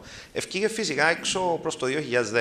Το 2010, τούτο όπως είπες και εσύ, είναι μπουταούρα, πανάκριβο, ε, περίπου 350 λίρες που ήταν στην Αγγλία το εταιρεία σου τεστ. προσφέρει; Όχι, δεν προσφέρει. Όχι, εν τούτο που θέλω. Δεν προσφέρει. Το μόνο που έχει κάποια καλή τέλος πάντων ένδειξη για να το κάνεις σε κάποιος ο οποίος έχει κάνει βιοψία, έχει κάνει MRI, εννοείται πριν. Ε, Όλοι πρέπει να κάνουν MRI πριν τη βιοψία από την Ευρωπαϊκή Ουρολογική Εταιρεία εδώ και πολύ καιρό. Ε, ε, και όταν έχει συνέχεια αύξηση, το PCA3 αποφασίζεις αν θα ξανακάνει βιοψία. Οκ. Είναι για δεύτερες βιοψίες. Α, δηλαδή όταν οι πρώτες βιοψίες που έχουν, Καθαρές. έχουν ένα ποσοστό, να, δηλαδή πρέπει ο κόσμος να Οδηγεί. καταλάβει ότι όταν έχω βιοψία καθαρή, δεν σημαίνει ότι είμαι 100% στο απυρόβλητο. ναι. Σωστό. Γιατί μπορεί να. Σωστό, Ωραία. τίποτα είναι Γιατί εκατό. ο λόγος που σου βαλούν τις ερωτήσεις είναι ότι οι περισσότεροι άντρες θέλουν να αποφασίσουν πότε να κάνουν τη βιοψία. Γιατί και η βιοψία έχει τα ρίσκα της για πολλούς λόγους. Οπότε. Εντάξει. Σωστό, σωστό. Ε, Άρα τούτα τα Επίσης, να μην ξεχνούμε κάτι, δηλαδή, ε, να σας κάνω να σκεφτείτε τώρα, γιατί όταν διαγνώσεις κάποιον με χαμηλού βαθμού καρκίνο του προστάτη, ε, ε, μπορεί να μην είναι καλό. Ε, τώρα σκεφτόμαστε να αλλάξουμε του χαμηλού βαθμού καρκίνο του προστάτη να μην τον ονομάζουμε για καρκίνο. Γιατί η πιθανότητα να τον πάρεις μαζί σου Δηλαδή, δεν θα πεθάνεις από τον καρκίνο του προστάτη, μάλλον να τον πάρεις μαζί σου στον τάφο. Και το άγχος, δηλαδή πολλούς που τους λέμε να μπούμε σε surveillance, ενεργό παρακολουθήσει. δεν κοιμούνται. Έρχονται, λέω σου Χρήστο, δεν κοιμούνται νύχτα. Κάρτο. Και μετά πρέπει να ζήσεις με την ακράδεια, με τη στητική λειτουργία, σεξουαλική της λειτουργία, μια ζωή, την υπόλοιπη ζωής σου. Ακόμα και στα σκορέ 7 σε κάποιες περιπτώσεις. Σωστό. Το 3 και 3 είναι το κλείσον σκορέ 6. Ναι, με ρωτάτε γιατί, το πιο χαμηλό βαθμός είναι 6, που είναι παράξενο. Ε, και φυσικά εξαρτάται και πόσο όγκο έχεις διάγνωση τώρα. Πάμε πίσω στο, στο Stockholm 3 και το 4K. Ε, διάφορα, όπως είπα, ο προστάτης είναι, είναι καλή κρεΐνη. Λέγεται, το 4K είναι τέσσερις καλή κρεΐνες. Τούτος σημαίνει. Δηλαδή μετρούν άλλες τρεις. Ε, το Stockholm μετρά πέντε. Τι οποίες βάλλονται μαζί και υποτίθεται ένας τρόπος παρακολούθησης. Ε, το 4K αμερικάνικο νομίζω είναι 700-800 ευρώ. Ε, η Stockholm, το Stockholm 3 τώρα, τώρα ξεκίνησε, δηλαδή τώρα το 17-18, που περιμένουμε τα αποτελέσματα. Ευκήκαν κάποια αποτελέσματα interim, δηλαδή στο μέσο της εξέτασης. Περιμένουμε να δούμε. Εκείνο είναι 350 λίρες. Δεν είμαστε ακόμα σίγουροι. Δηλαδή, δεν είμαστε ακόμα. Αυτά τα εξειδικευμένα τεστ, πόσο νομίζεις συμβάλλουν πραγματικά ε, εκτός από τα στάνταρ που έχουμε προαναφέρει; Να εξηγήσω. Τώρα, αν κάνεις μόνο PSA σε παρακολούθηση καρκίνου του προστάτη, που τι 10.000 να βρεις αξιμένο το χίλιες ή που τους χίλιους τους 100. Ε, αλλά να μιλήσουμε για χιλιάδες, γιατί αν πιάσει το αντρικό πληθυσμό 50 με 70 να πούμε, μιλούμε για εκατοντάδες χιλιάδες στην Κύπρο. Που το 10% είναι ένα ψηλό. Που το 10% είναι να έχουν ψηλό, ε, να έχουν κάτι πάνω στο MRI. Okay. Άρα, που τι 10.000 χίλιε να έχουν ψηλό PSA, που τους χίλιου το 100 είναι να δείξουν κάτι στο MRI. Ε, αλλά μιλούμε για φοβερά νούμερα. Έτσι. Σε ένα χρόνο, αν κάνεις όλους ένα τεστ, να θέλεις 10.000 MRI. Πότε να κάνεις. Ε, και προσπαθούμε με το Stockholm 3 να, να το κάνουν narrow down. Δηλαδή, να δουν τι πραγματικά. Να κάνουν 90% λάθος τεστ. Κοίταξε το, άμα φτάσεις στο MRI και το MRI είναι θετικό, πάλι είναι 100%. Είναι κάτι που ο κόσμος πρέπει να ξέρει. Και μάλιστα το 85 και 92% accuracy που βλέπεις στο παλιό μου το πανεπιστήμιο, στο UCL, από τους πιο experts των experts των experts και κανένας δεν μπορεί να το κάνει reproduce. Δηλαδή νομίζω μιλούμε για κάτι 60-70% accuracy του MRI, ε, έστω και με Tesla 3, που είναι ο καλός ο μαγνήτης, ο πιο δυνατός μαγνήτης. Ε, Άρα, εξαρτάται ποιος το θυκευάζει το MRI. Άρα, αν μου επιτρέπεις να κάνω μια ανακεφαλαίωση, είναι όπως mm. το καταλάβω εγώ και διόρθως με να κάνω λάθος. Mm. Εγώ καταλαβαίνω ότι το θέμα της διάγνωσης του καρκίνου του προστάτη και η ένδειξη για βιοψία δεν είναι εύκολη υπόθεση. Πρώτον. Καθόλου. Δύσκολο. Δεύτερον, πολλές φορές μπορεί να είναι και εξατομικευμένη η απόφαση του ασθενούς, ο οποίος πρέπει να είναι πλήρως πληροφορημένος μαζί με τον γιατρό του. Σωστό. Και τα πρώτα πράγματα που μπορεί να χρησιμοποιήσει είναι το PSA με τα εύκολα που μπορεί να έχει πάρα πολύ προ, προσιτά και φτηνά, όπως το λικό, το ελεύθερο, ναι. η πυκνότητα, η ταχύτητα. Μετά μπορεί να κάνει και το MRI, το οποίο θα σε βοηθήσει εσένα να αποφασίσεις και πολύ σωστά ναι. το είπες, γιατί νομίζω είχα ακούσει περιπτώσεις και εκπλάγηκα που κάνουν βιοψία χωρίς να κάνουν MRI. Ναι. Το οποίο κατά μένα τη σήμερα ημέρα δεν γίνεται να κάνεις. Ήταν το common practice στην Κύπρο μόλις ήρθα πριν πέντε χρόνια πολλά λίγα έκαναν MRI πριν την βιοψία. Ε, οποίο... Τώρα ευτυχώς είναι το αντίθετο. Ναι. Πρέπει να γίνει κάτω από καλές συνθήκες. Πρέπει να τονίσουμε μαγνητικό τομογράφο 3. Από παραγίνεται. Ναι, αλλά ε, πρέπει να γίνεται με μαγνητικό τομογράφο 3 ναι. και κάτω από συγκεκριμένε. Yeah, ideally, 3 Tesla έχει κάποιες ρυθμίσεις που μπορείς να κάνεις πας στο 1,5 να σου βγάλει σχετικά καλή εικόνα. Δηλαδή είναι τεράστια διαφορά, αλλά το 3 νομίζω μπορείς να το αντικαταστήσεις. Όσον αφορά τη βιοψία, πέ μας και τρία λόγια, μια και είμαστε στη δευτερογενή πρόληψη ακόμα. Η βιοψία... Ποιες μεθόδους και ποια μέθοδο χρησιμοποιάς εσύ; Η βιοψία, όπως, ε, όπως είδες και εσύ όταν έκανα την προεργασία για τούτο, ε, βάλουμε το, την πυκνότητα του PSA με, τες, με το score του MRI.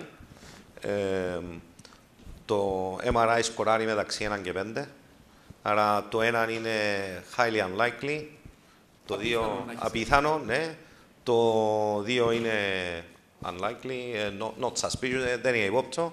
Το 3 είναι έτσι και έτσι, το 4 υπόπτω, το 5 πολύ υπόπτω. 4 και 5 ουσιαστικά πρέπει να κάνεις μια βιοψία. Ε, όταν είναι τα άλλα μέσα, μπαίνει μέσα το level του PSA και, το, και πυκνότητα. Ε, και σου λέει πολλά ξεκάθαρα η Ευρωπαϊκή Ουρολογική Εταιρεία ακριβώς τι κάνεις. Αν είναι η πυκνότητα σου 0,15 με το MRI σου είναι 3, πάνε ακριβώς που πρέπει, που είναι η consider biopsy, η perform biopsy, η no biopsy. Είναι δύσκολο κεφάλαιο γιατί και η, η ιστολογία όταν έρθει, όταν δείξει καρκίνο, που είναι πλήστε περιπτώσεις από ό,τι Ναι. καταλαβαίνω, το 3 συν 3 ή το κλείσον 6 ή ακόμα και το 7 σε ορισμένες περιπτώσεις, δεν θέλουν θεραπεία. Και όπως πολύ καλά έχει αναφέρει, ε, η θεραπεία για τον καρκίνο του προστάτη έχει στην, ε, τα προβλήματα της ούρησης, τα προβλήματα της τύση, της σεξουαλικής ζωής και δεν είναι απλά πράγματα και μπορεί να επηρεάζουν τη ζωή ενός άντρα γιατί- που μπορεί να έχει ένα προσδόκιμο επιβίωσης 20-30 χρόνια. Οπότε, Έχει τους λεγόμενους επιζώντες. Οι επιζώντες είναι δυστυχώς, πάρα, πο- ε, ευτυχώς πολλοί, ε, δυστυχώς βασανιούνται. Ε, ε, και αν έχουν μπροστά τους έτσι 10-20 χρόνια, ε, να βασανιούνται για πολύ καιρό. Πες μου από την εμπειρία σου στην Κύπρο, ή, φαντάζομαι πρέπει να παρακολουθάς αρκετούς με χαμηλού βαθμού κακοήθειας, τους κάνεις τη βιοψία, του λες έχεις καρκίνο, αλλά εν, εν 6, 3 συν 3, δεν χρειάζεται θεραπεία, ενεργός παρακολούθηση.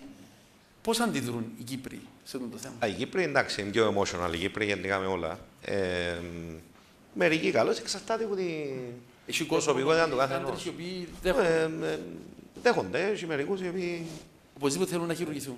Φυσικά, ε, ε, ναι, εντάξει, στη, στην Αγγλία διαφορετικά πράγματα έπρεπε να περάσεις που τον ανδρολόγο πριν χειρουργηθείς. Οκ. Γιατί ό,τι επιπλοκή γίνει, εν ο ανδρολόγος που να διορθώσει, δηλαδή ε, την ακράτεια, τη, το θέμα με τις στύσεις, πρέπει να περάσεις από τον ανδρολόγο. Γι' αυτό έπρεπε να περάσει ο κάθε ασθενής που τον ανδρολόγο να το δει, να του πει να που τον περιμένει, και ύστερα πάει να χειρουργηθεί. Γιατί μετά είναι να έρθει να σε βρει. Ε, άρα να ξέρετε τι επίπλογες. Ε, φυσικά, οι χειρούργοι μπορεί να εξηγήσουν εξηγούμε τι επιλογέ, αλλά πολλές φορές όταν αναφέρεις σε κάποιον έχεις καρκίνο, ό,τι του πεις που για μένα εκεί δεν το ακούει. Ε, ε, Μες στη σύγχυση, μες στο. και Ναι, αυτό- έρχονται κάποια νέα. Καλό θα ήταν να το ξαναβλέπεις, να το ξανα. Αλλά ε, όλοι οι ασθενείς να συζητηθούν σε meeting με τους ογκολόγους. Έχουμε στην Κύπρο. Παρόν, φυσικά, φυσικά. Έχουμε τρία. συμβούλια πολυθεματικά. Τρία συμβούλια. Τα οποία μελετούν τους ασθενείς. Σωστό. ε, Να εγκρίνουμε. Να φέρει ένας συνάδελφος. Να φέρει ένας συνάδελφος το case του να το παρουσιάσει και να αποφασίζουμε μαζί ότι όντως αυτή είναι η θεραπεία. Ε, δίνεται φυσικά η, οι τρεις και τέσσερις επιλογές κάποτε στο, στον κάθε ασθενή που μπορεί να πάει να δει τον, τον, ακτινολόγο, τον ακτινοθεραπευτή, να του εξηγήσει για ακτινοθεραπείες, για βράχυθεραπείες κτλ. Ε, και εμάς για τα χειρουργία. Εξαιρετικά. Νομίζω θα ολοκληρώσουμε εδώ, διότι α, φτάσαμε πλέον στο άλλο κομμάτι, το οποίο θα αποτελέσει αντικείμενο άλλου σεμιναρίου, διότι αν πούμε στα θέματα των διαφόρων θεραπείων, αλλά είναι τεράστιο κεφάλαιο. Θα μείνουμε στην πρόληψη και τελειώνοντας, γιατρέ, θέλω να μου πεις τρία σημαντικά μηνύματα, τα οποία θα ήθελε να δώσεις σχετικά πρώτον με την α, υγεία του προστάτη και την πρόληψη που μπορούν να κάνουν, εκείνο που θεωρείς πολλά σημαντικό και εσύ, όσον αφορά τα ανιχνευτικά τεστ και το τελευταίο που θέλω να μας πεις, τελειώνοντας, τι βλέπεις στον ορίζοντα για τις θεραπείες του προστάτη επιγραμματικά, ως λέξεις κλειδιά. Έχουμε ελπίδες, βελτιώνονται τα πράγματα; Ε, ναι, επιγραμματικά. Ε, να ξεκινήσω με το τελευταίο. Ε, υπάρχουν πολλές καινούργιες θεραπείες. Σίγουρα η εγχείρηση του προστά, η προστατεκτομή είναι καλό πράγμα. Αφήνει πάρα πολλά προβλήματα. Ακόμα και με τις σύγχρονες τεχνικές Όσον καλά και να πάει. υπάρχουν. Δηλαδή, ε, δεδομένου ότι έχεις μια σεξουαλική δυσλειτουργία. Ό,τι εγχείρηση προστά και να κάνεις. Για την ανεπάρκεια των ούρων. Ε, η ακράδεια των ούρων σχετικά λιγότερο θέμα, δηλαδή 10-15%. Ε, φυσικά οι μελέτες λες να φορείς ένα μπανάκι την ημέρα, είσαι εντάξει. Είσαι εγκρατής. Ε, Άρα η πρόοδος στον τομέα τούτων της χειρουργική, πώς το βλέπεις, Έχουμε κάτι. κοίταξε, με, το, με τον ρομπότ είναι πιο εύκολο για τον χειρούργο, όχι ε, τίποτε άλλο. Δεν είδαμε τεράστια διαφορά τα τελευταία. Αλλάξαν κάπως οι τεχνικές, ναι, Η καλύτερε οι εισαγωγή της τεχνικές. ρομποτικής, λαπαροσκοπικής, όλα αυτά. Είναι... Ε, είναι πιο εύκολο για μας. Ένας, ένας, ε, λαπαροσκοπική δηλαδή, ε, λαπαροσκοπική χειρουργική, απλώς είναι πιο εύκολο. Αν δούμε σε χρονοδιάγραμμα τα τελευταία 10 χρόνια. Έχει μια βελτίωση καλή, ναι. Μαθαίνουμε την εγχείρηση δηλαδή. Ναι, είναι γιατί. για, για τους άντρες, για τις επιπλοκές. Οι επιπλοκές είναι λιγότερες. Υπάρχει κάποια βελτίωση και υπάρχει μπορούμε να κάποια ελπίζουμε για βελτίωση. κάτι καλύτερο. Ε, φυσικά από την άλλη είναι πιο επιθετική καρκίνη τελευταίως. Ναι. Τούτο που είπες και εσύ ότι έχει έτσι μια αύξηση. Ενώ έπεφτε που το 90 λόγω, λόγω της, του PSA που ανακαλύφθηκε και τώρα τα τελευταία χρόνια έχει μια άδοδο. Να τα δούμε μετά, οι ερωτήσεις μετά. Το- Οπότε, εντάξει, το, τώρα το, για την πρόληψη. Για την Βασικά. πρόληψη, είπες το και εσύ, πάμε με τον άριστο, ε, σωστή διέτα, ε, obesity, lack of exercise, δηλαδή παχυσαρκία, μη εξάσκηση έρχονται μαζί. Άρα, Για τα ανιχνευτικά τεστ, έτσι ένα μήνυμα. τα ανιχνευτικά τεστ σίγουρα το ISO PSA ακούγεται πολύ καλύτερο. Φυσικά πρέπει να το δούμε και στην πράξη. Ε, γιατί πολλές μελέτες που δείχνουν φανταστικά αποτελέσματα έρχονται στην πράξη και ε, δυστυχώς δεν είναι εκείνο που μας έδειξε. Ε, υπάρχει τώρα πιο. Είναι και καλύτεροι και οι ακτινολόγοι να βλέπουν το MRI. Τι είναι πολύ σημαντικό. Δηλαδή το MRI είναι ένα πράγμα, ποιος το θεωρεί είναι το άλλο πράγμα. Πρέπει να είμαστε σίγουροι για την ποιότητα του ακτινολόγου που ερμηνεύει Ναι, και για κάποιος το ερμηνεύει. μηχάνημα που το κάνουμε και τη Και μεθοδολογία. το πρωτόκολλο. και Άρα την πρέπει να μεθοδολογία. παίρνουμε πληροφόρηση για το πού πάμε και τι κάνουμε, γιατί όπως έχει πει, κάθε γειτονιά στην Κύπρο πλέον έχει και MRI, έχει και αξονικό, που δεν είναι Να φυσιολογικό. ξέρεις και τα quality. Θέλει μεγάλη προσοχή. Το ίδιο και με τα εργαστήρια. Ας πούμε, πολλές φορές ήρθε ένας ασθενής Εξαιρετικά γιατρέ με μου. ένα ψηλό PSA και πάει σε Τώρα- άλλο εργαστήριο είναι καλός. Εξαιρετικά νομίζω δώσαμε αρκετή πληροφόρηση και φτάνουμε στη φάση που θα μπορείτε όλοι να βάλετε, έχουμε περίπου μια ώρα, σχεδόν μια ώρα να βάλετε οποιαδήποτε ερώτηση. Αλλά πριν προχωρήσω, και επειδή μιλήσαμε για άθληση, θέλω να κάνω μια ανακοίνωση για ένα, να- ε, ένα κάτι πολύ σημαντικό που έχει σχέση με την άθληση. Είναι, είναι διοργανώνεται αγώνας καλαθοσφαίρισης σε τροχοκάθισμα. Είναι η άθληση, είναι πολύ σημαντικό. Τα, τα διοργανώνει ε, ο Όμιλο Αχέπα, ε, στο κλειστό γήπεδο Γερανούς Στροβόλη. Υπάρχουν φυλάδια έξω παρτέτα, το συστήνουμε να στηρίξετε με κάθε τρόπο. Είναι η άθληση, αλλά ακόμα και για ανθρώπους μας, οι- ε, συνανθρώπους μας οι οποίοι βρίσκονται σε τροχοκάθισμα. Ήθελα να το αναφέρω αυτό το πράγμα, γιατί θεωρώ ότι πρέπει να προάγουμε την άθληση με κάθε τρόπο. Το Λοιπόν, είμαστε έτοιμοι για ερωτήσεις. Και όπως έχω πει, οι ερωτήσεις παρακαλώ να είναι σύντομες, το πολύ δύο φράσεις. Δεν παίρνουμε το μικρόφωνο για να κάνουμε διάλεξη. Δύο φράσεις, συγκεκριμένο ερώτημα. Θα απαντήσει είτε ο γιατρός είτε εγώ. Ε, συγκεκριμένα πράγματα γρήγορα για να έχουμε όλη την ευκαιρία ε, να μιλήσουμε και αποφεύγουμε οτιδήποτε έχει σχέση να κάνει με ε, πολιτικές, διοικητικά. Δεν είναι για αυτό που είμαστε εδώ. Είμαστε εδώ μόνο για να μεταφράσουμε τα ευρήματα των ερευνών σε πρακτική που θα ασκεί ο καθένας από εμάς, διότι όπως όλοι καταλάβαμε, η υγεία μας στον πολύ μεγαλύτερο βαθμό εξαρτάται από εμάς τους ίδιους πρώτα απ' όλα και μετά από τους γιατρούς. Καλύτερα να κάνουμε το παν για να αποφεύγουμε τους γιατρούς. Λοιπόν, η πρώτη ερώτηση, ποιος ε, ακούει ερωτήσεις; Ο κύριος εκεί. Καλησπέρα. Ε, Ευτύχιος το όνομα μου, γιατρέ. Γιατρή μάλλον. Ε, εγώ δεν θα αναφερθώ στον ε, προστάτη, τον καρκίνο του προστάτη, αλλά στην προστατήτητα. Δεν έχουμε μπει αρκετά νομίζω. Θέλω να μάθω απλώς πόσο επικίνδυνη μπορεί να είναι. Μπορεί ακόμα να οδηγήσει και στο θάνατο; Ε, γιατρό. Ναι, η, ε, καλή ερώτηση αυτή. Η, η προστατήτητα είναι η πρώτη ερεύνηση αν προκαλεί καρκίνο του προστάτη. Ε, μ, ακόμα υπάρχει ένα ερωτηματικό. Ε, είναι τεράστιο πρόβλημα η προστατήτητα. Δύσκολα θα προκαλέσει θάνατο, ε, δηλαδή λόγω συψημίας. Ε, μ, αλλά σίγουρα είναι κάτι που αφήνει πο- πάρα πολλά προβλήματα, ίσως το πιο δύσκολο ε, θέμα όταν πει κάποιος στο γραφείο. Προστατήτες είναι πάρα πολύ δύσκολες. Ε, μερικές ευτυχώς πάνε καλά, μερικές σταματούν να επανέρχονται. Ό,τι και να Μπορεί κάνεις. να μην έχεις και συμπτώματα και να έχεις προστατήτητα, αλλά να... Ναι, ε, η μη συμπτωματική προστατήτητα βλέπεις το πολλές φορές με ψηλό PSA out of nowhere και ξαφνικά ξαναπέφτει. Άρα ε, πολλές είναι υποκλινικές. Ε, αλλά οι, οι γερές οι προστατήτες είναι μεγάλο πρόβλημα, τεράστιο πρόβλημα, γιατί πολλά λίγα αντιβιωτικά δουλεύουν ευθύνη και ακόμα παραπάνω. Ε, δεν είναι μόνο το αντιβιωτικό που δούλεψε στο εργαστήριο, είναι το αντιβιωτικό που μπορεί να διαπεράσει τον προστάτη. Δηλαδή, μπορεί να δουλεύουν 10 αντιβιωτικά στο εργαστήριο, in vitro, στο γυαλί, αλλά in vivo, στη ζωή, μπορεί να δουλεύουν 2 ή 3. Άρα, ναι, τεράστιο πρόβλημα. Επόμενη ερώτηση, ο... Άντρος. Υπάρχει περίπτωση η υπερπλασία του προστάτη να μεθ- μεταξελιχθεί σε καρκίνο του προστάτη; Δύο Και- διαφορετικές παθολογίες. Μπορεί να το έχεις και το ένα, μπορεί να έχεις και το άλλο.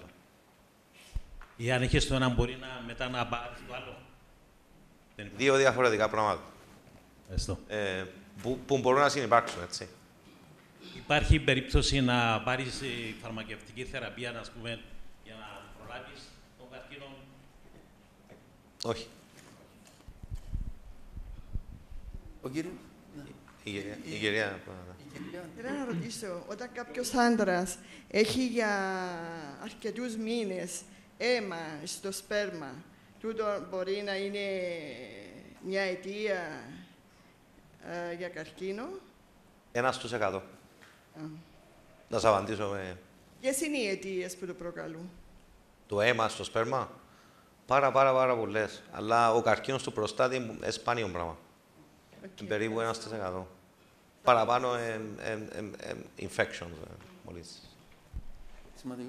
Χάς να κάνω μια εισαγωγή, να ευχαριστήσω και που εφεύραν το για εσείς στην Κύπρο και έτσι έδωσαν την ευκαιρία σε όλους μας να κάνουμε αναλύσεις. Χάρη στις αναλύσεις, εγώ προσωπικά, ας πούμε, είχα κάποια από το θέματα. Ήταν σε ένα ακόμα το case study το δικό μου που μιλούσατε από το, στην περίπτωση σας. Η ερώτηση που βάλω και στους δύο γιατρούς είναι ακριβώς, είπατε ότι όταν υπάρχει μια διάγνωση και είναι οριακή, boundary, ας πούμε, υπάρχουν διάφορες τρόποι αντιμετώπισης. Και τούτο το βάζετε στον ασθενή να αποφασίσει ποιον να αποφασίσει. Το βλέπω ότι είναι λίγο άδικο να, να κάποιος ο οποίος είναι γιατρός πριν που είναι 20, 30, 40 χρόνια να κουκλάρει, να διαλέξει και αν επιλογή να κάνει ότι πιο σωστή ας πούμε για γίνος, το άκτης της αβέας ή το κάτι άλλο. Το βλέπω λίγο διαφωνήσω, άδικο που νομίζω.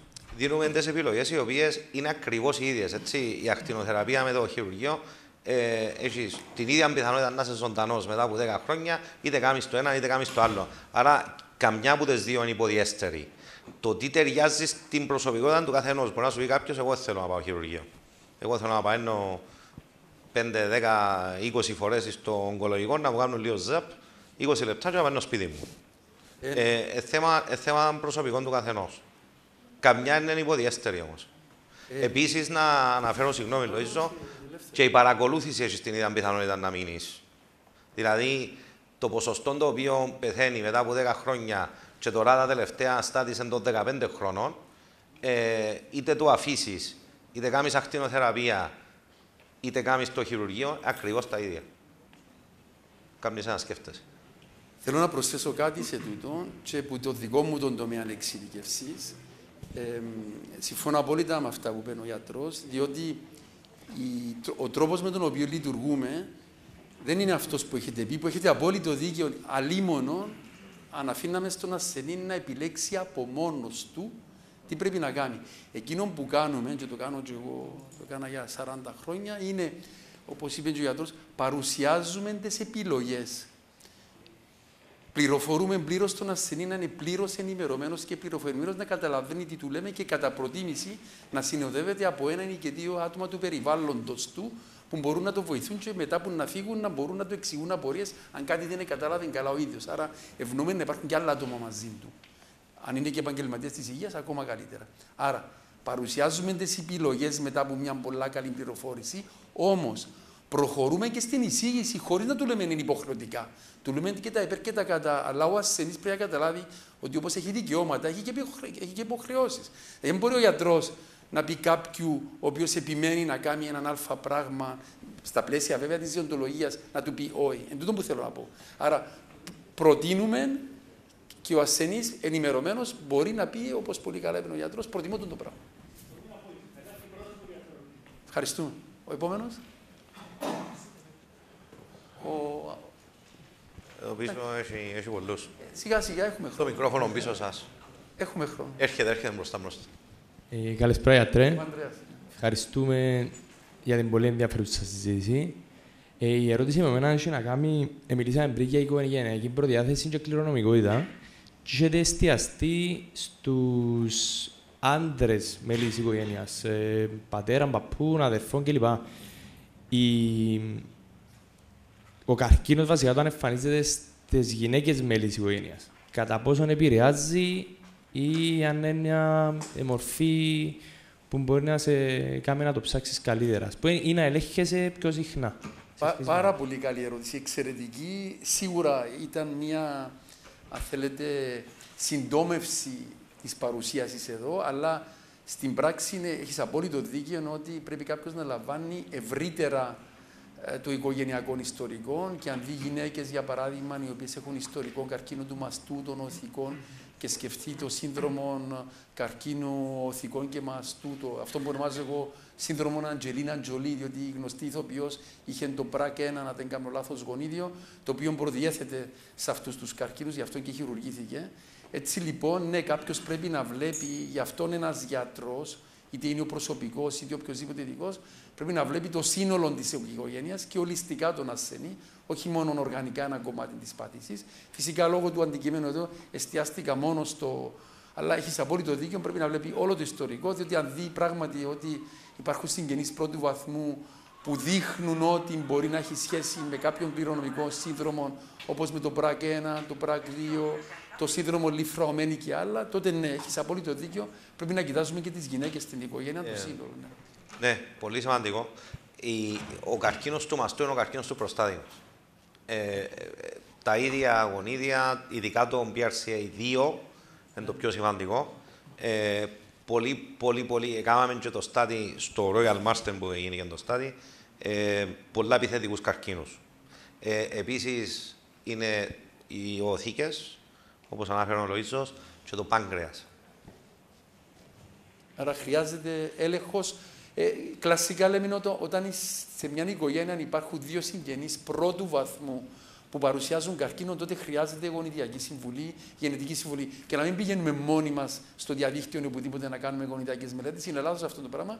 Πρέπει να μιλούμε με τον γιατρό μας να μας στέλνει σε γεννητιστή, σε συμβουλευτική συνάντηση που θα, μας, θα πάρει το ιστορικό και θα αποφασίσει αν έχουμε τέτοιον ιστορικό που να επιβάλλει να γίνει γονιδιακός έλεγχος στην οικογένεια. Και επειδή εμένα αρέσει να μιλώ με αριθμούς, είναι το 1 στα 8 γίνεται 1 στα 5 με έναν, με έναν ε, συγγενή και δύο συγγενείς γίνεται 1 στα 2 η πιθανότητα. Μάλιστα. Ε, Πού είναι το μικρόφωνο; Σιγά σιγά θα τους... Ε, έχει αρκετούς. Ε, ο κύριος Καρεκλάς εδώ. Ευχαριστώ. Ε, δύο σκέλη. Το ένα, αν υπάρχει καλοήθηση υπερπλασία του προστάτη. Μπορεί αυτό από μόνο του να εξελιχθεί σε καρκίνο του προστάτη, αν δεν συντρέχουν άλλοι παράγοντες; Δύο διαφορετικές. Ναι.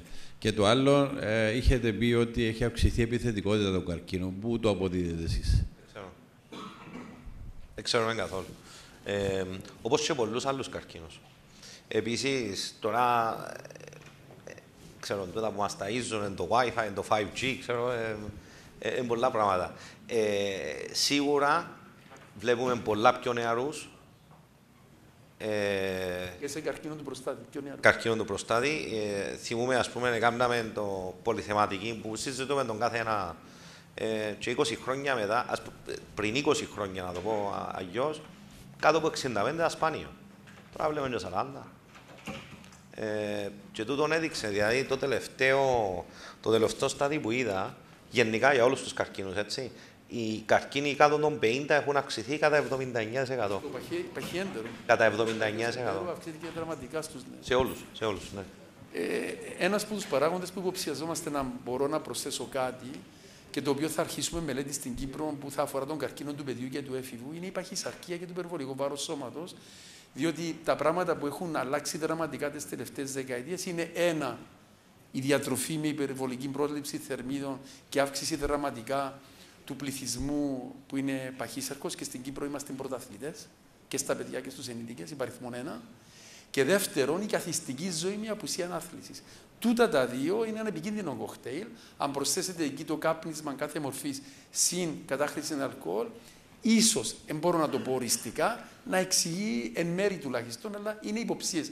Όσον αφορά για τα ηλεκτρομαγνητικά πεδία, WiFi και τέτοια, δεν, Μέχρι στιγμής, διότι παρακολουθώ το θέμα, έχω ειδικό ενδιαφέρον στο περιβάλλον και καρκίνος, δεν υπάρχουν στοιχεία που να δείχνουν ότι. Τον αντίον νομίζω το 5G πιο καλό. Ε, δεν, δεν δείχνουν. Ε, δηλαδή, μέχρι τώρα δεν. Το λέω τώρα. Ε. Απλά. Επίσης, να μην ξεχνούμε ότι το, το, το, το μήλο που, τρώ, που τρώμε τώρα δεν έχει καμία σχέση με το μήλο του 1970. Νομίζω τα ίδια θρεπτικά στοιχεία αντιστοιχούν με 70 μήλα τώρα με ένα μήλο το 70. Μάλιστα. Η επόμενη ερώτηση; Το κρατώ. Να ρωτήσω γιατρέ, διαφρένω στον κύριο Μπουλή. Βεβαίως. αλλάξαν τα πρωτόκολλα θεραπείων ή αντιμετώπισης όσον αφορούσαν το scale, το 3 συν 3 κλείσον κλπ. τα τελευταία πόσα χρόνια; Ναι, αλλάξαν πάρα Γιατί πολλά. Μέχρι πριν 10-15 χρόνια στο 3 συν 3, αν αντιλαμβάνομαι σωστά, προχωρούσαν και σε προστατεκτομές. Επειδή ήρθαν μετά οι αγωγές στην Αμερική, τούτο έγινε στην Αμερική. Σε φάση που ήρθε η ίδια Αμερικανική κυβέρνηση και σταμάτησαν το PSA. Ε, Σταμάτησαν τους να κάνουν PSA.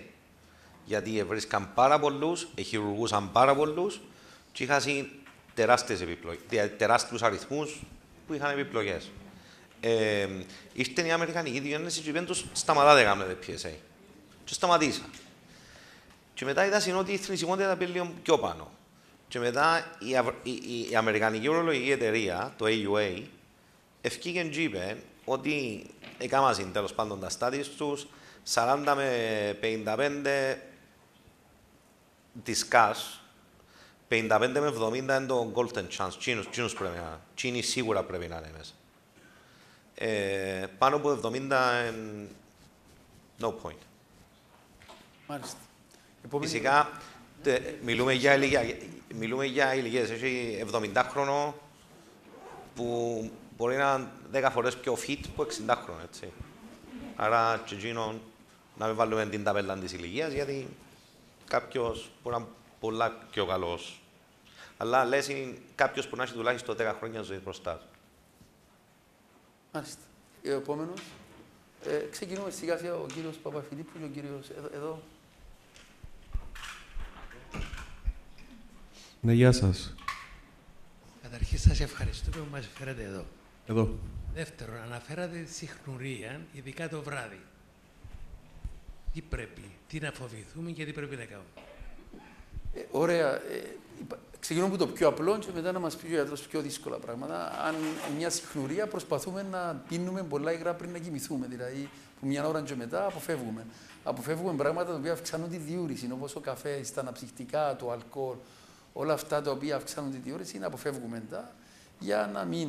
Τώρα, αν το, η συχνουρία είναι διότι μειώθηκε τόσο πολλά η κοιλότητα της κίστης λόγω της υπερτροφίας του προστάτη με αποτέλεσμα το ερέθισμα, ναι, το ερέθισμα της ούρησης να γίνεται απότομο γιατί η ανοχή της κίστης εμειώθηκε πάρα πολλά, διότι υπάρχει και το πρόβλημα της, της ευερέθης του κίστης. Εκτός που τον προστατητητά υπάρχει και η ευερέθιστος κίστη, η οποία είναι άλλο πρόβλημα που πρέπει όσο το δυνατόν να υποβάλουμε σε λιγότερες επιθετικές ουσίες όπως αλκοόλ, κάπνισμα, αναψυκτικά κτλ. για να το αντιμετωπίσουμε. Άρα εσύ θέτω το πρόβλημα και να μας πει και ο γιατρός στην περίπτωση που είναι λόγω μόνο προστάτη, εκεί υπάρχουν διάφορες μεθόδοι.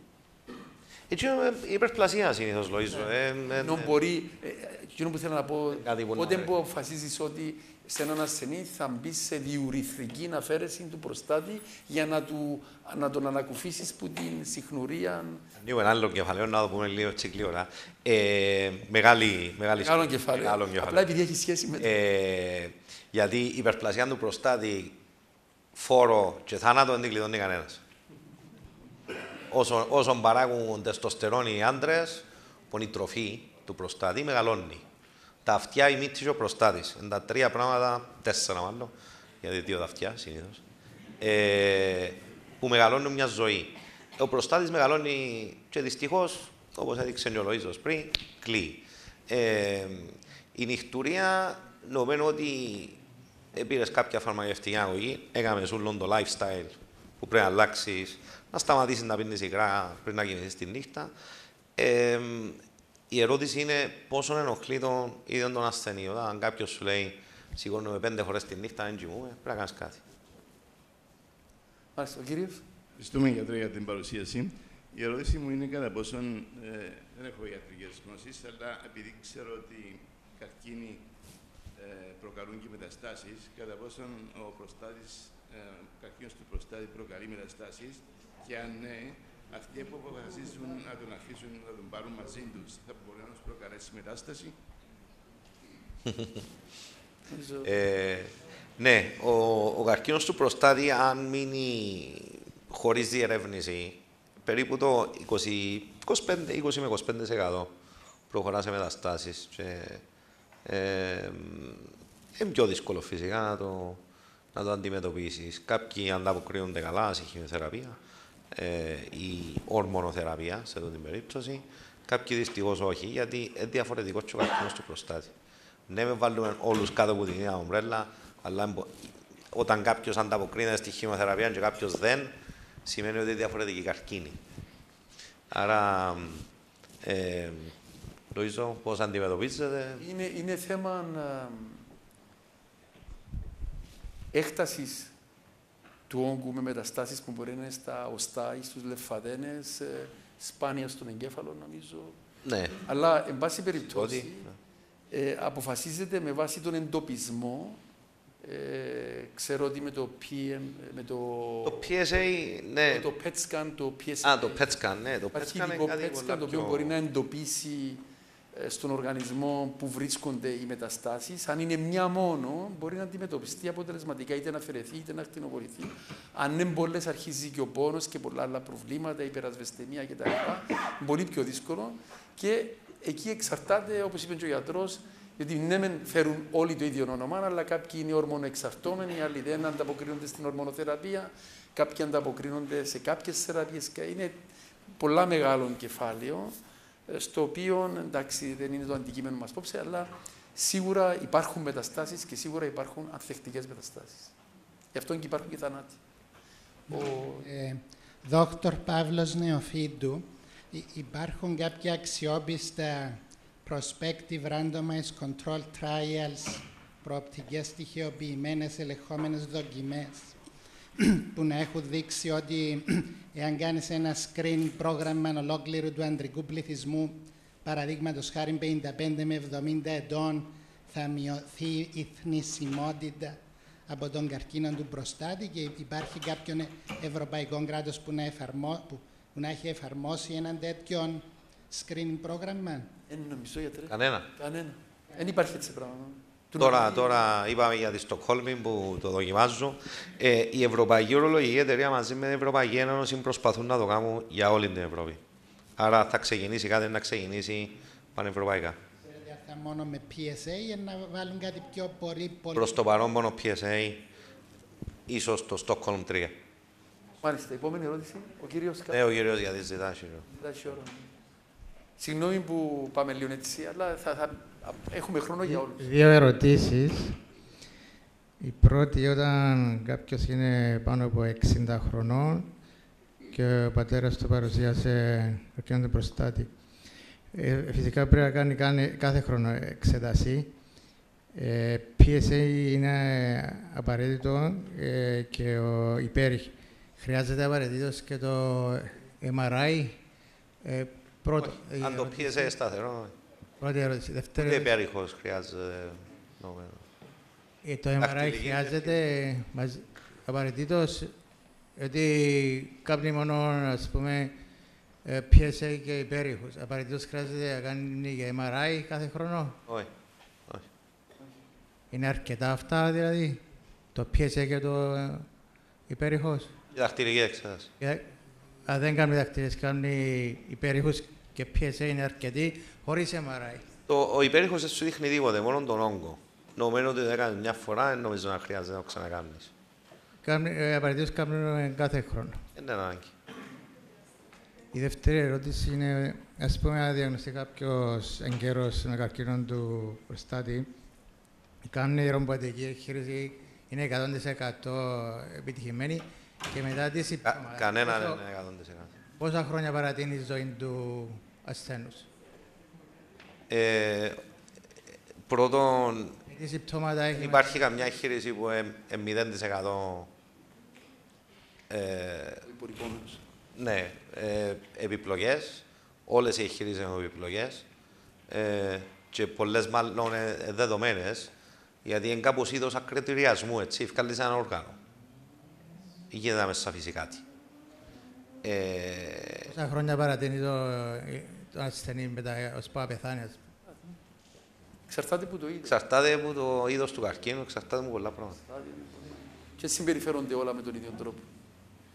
Αν είναι καρκίνος Μπορεί να έχει 10, μετα- μπορεί να έχει μετάλλαξη. ί- ίσως να έχεις ήδη μεταστάσεις. Καταστάσεις μετά. Μάλιστα. Ε, ο κύριος δίπλα σας. Γεια σας, ονομάζομαι Κυριάκος. Χαίρετε. Ήθελα να ρωτήσω από ποια ηλικία πρέπει να ξεκινήσουμε τα τεστ για το... και ποια τεστ πρέπει να κάνουμε για τον προστάτη. Καλή ερώτηση. Χωρίς ιστορικό 50, ε, με ιστορικό στην οικογένεια, όπως είπαμε, πρώτου βαθμού συγγενείς, τους καρκίνους που αναφέραμε, 45, κάποτε 40. Παραδείγματος χάρη, πρέπει να το παίρνεις individual. Δηλαδή, έχω, έχω τέσσερα αδέρφια, οι οποίοι είναι από 57 μέχρι 51, και οι δύο είχαν καρκίνο του προστάτη. Τότε τους, τους άλλους δύο πρέπει να τους βλέπεις πολλά συχνά.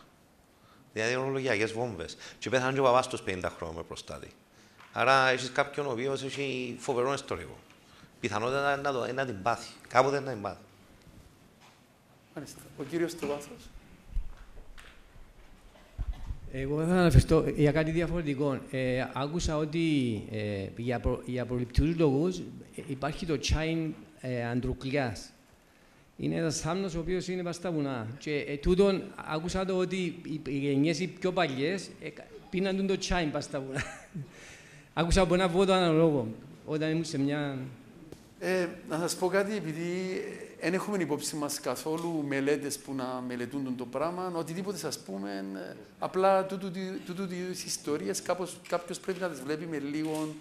Σαν επιστήμονες, να ας πούμε, είναι μελέτες... Δεν μπορούμε να απαντήσουμε την ερώτηση. Ε, φυσικά, τούτα, ε, ε, πολλά φυτά παράγουν φυτοϊστρογόνα, το οποίο είναι το αντίθετο της τεστοστερόνης. Όπως η σόγια. Ε, ναι, όπως η σόγια. Ε, τα οποία αντιστέκονται στο, στην τεστοστερόνη. Ε, να ανοίξω μια παρέθεση, δεν το συνιστώ σε κανένα, αν χάσει κάποιος τους όρχε τους, δεν θα πάθει ποτέ καρκιόν του προστάτη. Εντάξει, αλλά δεν πάμε στο extreme, έτσι.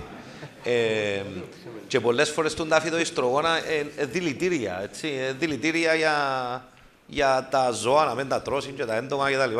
Ε, προστατε, προστατεύουν τα φυτά τα ίδια. Άρα πάμε και εμείς και πίνουμε. Εν τω μεταξύ, η λέξη αντρουκλιά ε, μετατρέπηκε διότι πίναν το οι άντρες. Που κάποια ηλικία και πάνω. Γι' αυτό ονομάσαν το θάμνο του αντρουκλιά. Στο τρόδος του τώρα, πάνω. Α, ορεινά, πάνω στα βουνά. Ο επόμενος. Ε, στο βάθος εκεί ο κύριος. Πάμε από πάνω και μετά γυρίσω. Καλησπέρα σας και ευχαριστούμε. Θέλω να κάνω μια ερώτηση για τα στατιστικά που μας δείξατε πριν στην παρουσίαση. Είδαμε στις διαγνώσεις ότι στην κορυφή της Ευρώπης είναι σκανδιναβικές και βόρειες χώρες. Πού αποδίδεται αυτό; Όσον αφορά... Τις παραπάνω, τις παραπάνω διαγνώσεις και, και mortality και εθνισμότητα έχει τη Σκανδιναβία.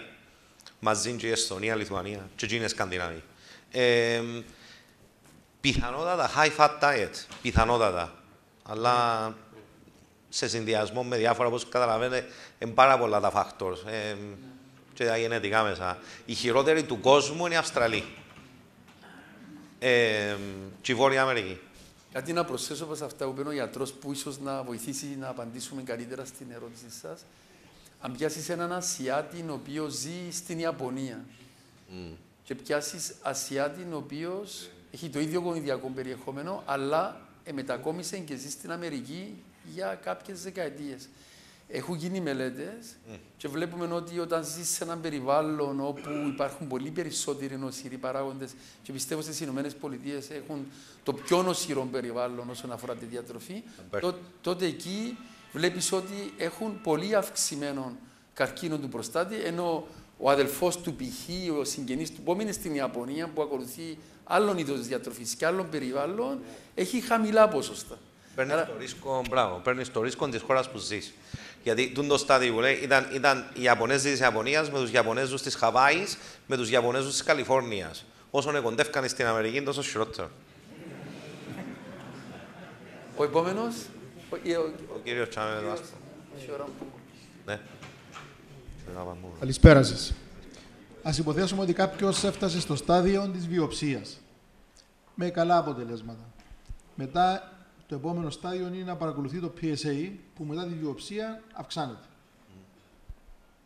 Πόσο πρέπει να είναι μετά τη βιοψία, να αυξάνεται λίγο, μένει σταθερό, θα πέσει κάποια φάση ή όχι; Α, έκανα εγώ την μελέτη. Μετά από έξι εβδομάδες, όταν αφαιρέσεις κάποιο τον μπροστάτη, γίνεται 0 το PSA που το περιμένει να γίνει 0. Ε, μετά από 4 με 6 εβδομάδες. Έχει να κάνει με μετά τη από λειτουργία βιοψία. των νεφρών. Μετά από βιοψία, λέω. Μετά από βιοψία για τον ίδιο, με τον ίδιο ακρι, ακριβώς σκεπτικό, περιμένεις περίπου 6 με 8 εβδομάδες για να ξαναέρθει κάτω. Πρέπει να έρθει κάτω. Αν μείνει σταθερός ή πάνω ή. Εννοούμε ότι η Αν μείνεις βιοψία ήταν σταθερά καλά φτιαγμένη και καλά, δεν σε ενοχλεί τόσο. Αλλά να πούμε κάτι για τη βιοψία που δεν προλαβαίνουμε να το πούμε. Υπάρχουν δύο είδο βιοψιών.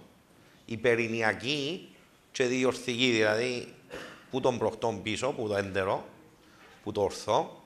Και υπάρχει η πιο καινούργια τεχνική που είναι μέσω του δέρματος μεταξύ προχτού και όρχεου, που λέγεται το περιναίο. Καλή ώρα δηλαδή, που καθόμαστε όλοι πάνω. Ε, που είναι πολλά πιο καθαρή, λιγότερες περιπλοκές και καλύτερες, και καλύτερες βιοψίες. Γιατί πιάνει και τον προστάτο μέρος του, του προστάτη. Γιατί με τη διορθική πιάνει, πάει που πίσω, ε, λόγω της ουρίθρας δεν μπορείς να πάεις μπροστά. Ενώ από την... Ενώ από την περινιακή πάεις με οριζόντια κατεύθυνση, Παίρνεις- ενώ η διορθική παίρνεις έτσι, πάεις που πίσω, διαγωνίως. Άρα Και είναι- πολλά πιο καλή τεχνική. Η επόμενη ερώτηση, ο κύριος εκεί.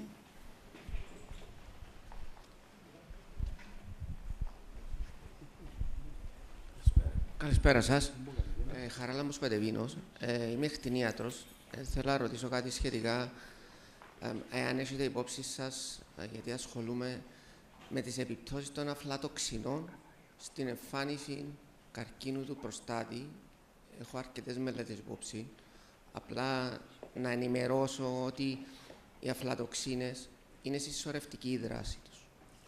Οπότε αυτό που με ανησυχεί στην Κύπρο είναι το γεγονός ότι η διατροφή των πολυγαστρικών και όταν λέμε πολυγαστρικά, ξέρει ο κόσμος είναι οι αγελάδες, τα πρόβατα, οι αίγες, στηρίζεται κυρίως στην κατανάλωση σανού και εισαγωγής ζωοτροφών από το εξωτερικό, οι οποίες κάνουν μήνες να έρθουν. Μέσα στα καράβια παράγονται αφλατοξίνες κυρίως από ασπέργυλο. Οι μελέτες όταν πήραν τροφές πρώτης ύλης, καλαμπόκιν κτλ. Οι αφλατοξίνες ήταν σε πολύ ψηλά επίπεδα. Οι τελικές συγκεντρώσεις στο γάλα, στα αυγά και στα στήθη των κοτόπουλων ήταν κάτω από το όριο. Οπότε οι οδηγίες είναι ότι δικαιούσε να καταναλώσεις τα 5 ppm. Αν λάβουμε υπόψη όμως ότι είναι συσσωρευτική και δεν αποβάλλονται οι αφλατοξίνες, πάντοτε μιλώ για την Κύπρο, η ποιότητα των ζωοτροφών είναι άθλη. Οπότε είναι ένα πεδίο το οποίο μπορείτε να το ερευνήσετε και βάσει της έρευνας μπορεί στο ιστορικό να ρωτήσετε καταναλώνετε α, β, γ και μπορεί να βγει κάτι από τούτο. Ε, το μόνο που είναι πολλά καλά γνωρίζετε, ε, ε, ευχαριστώ γιατί ασχολήθηκα πολλά με τις αφλατοξίνες, γιατί όπως σε πολύ καλά είπε, έχετε πει, είναι από τα ισχυρότερα καρκινογόνα.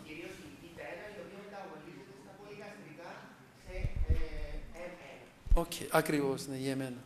Ε, τώρα, εμ, όσον αφορά συγκεκριμένα για τον προστάτη και αφλατοξίνη, δεν έχω δει κάτι συγκεκριμένο, για να είμαι ειλικρινής. Έχω ανασκοπήσει αρκετών καιρών το θέμα.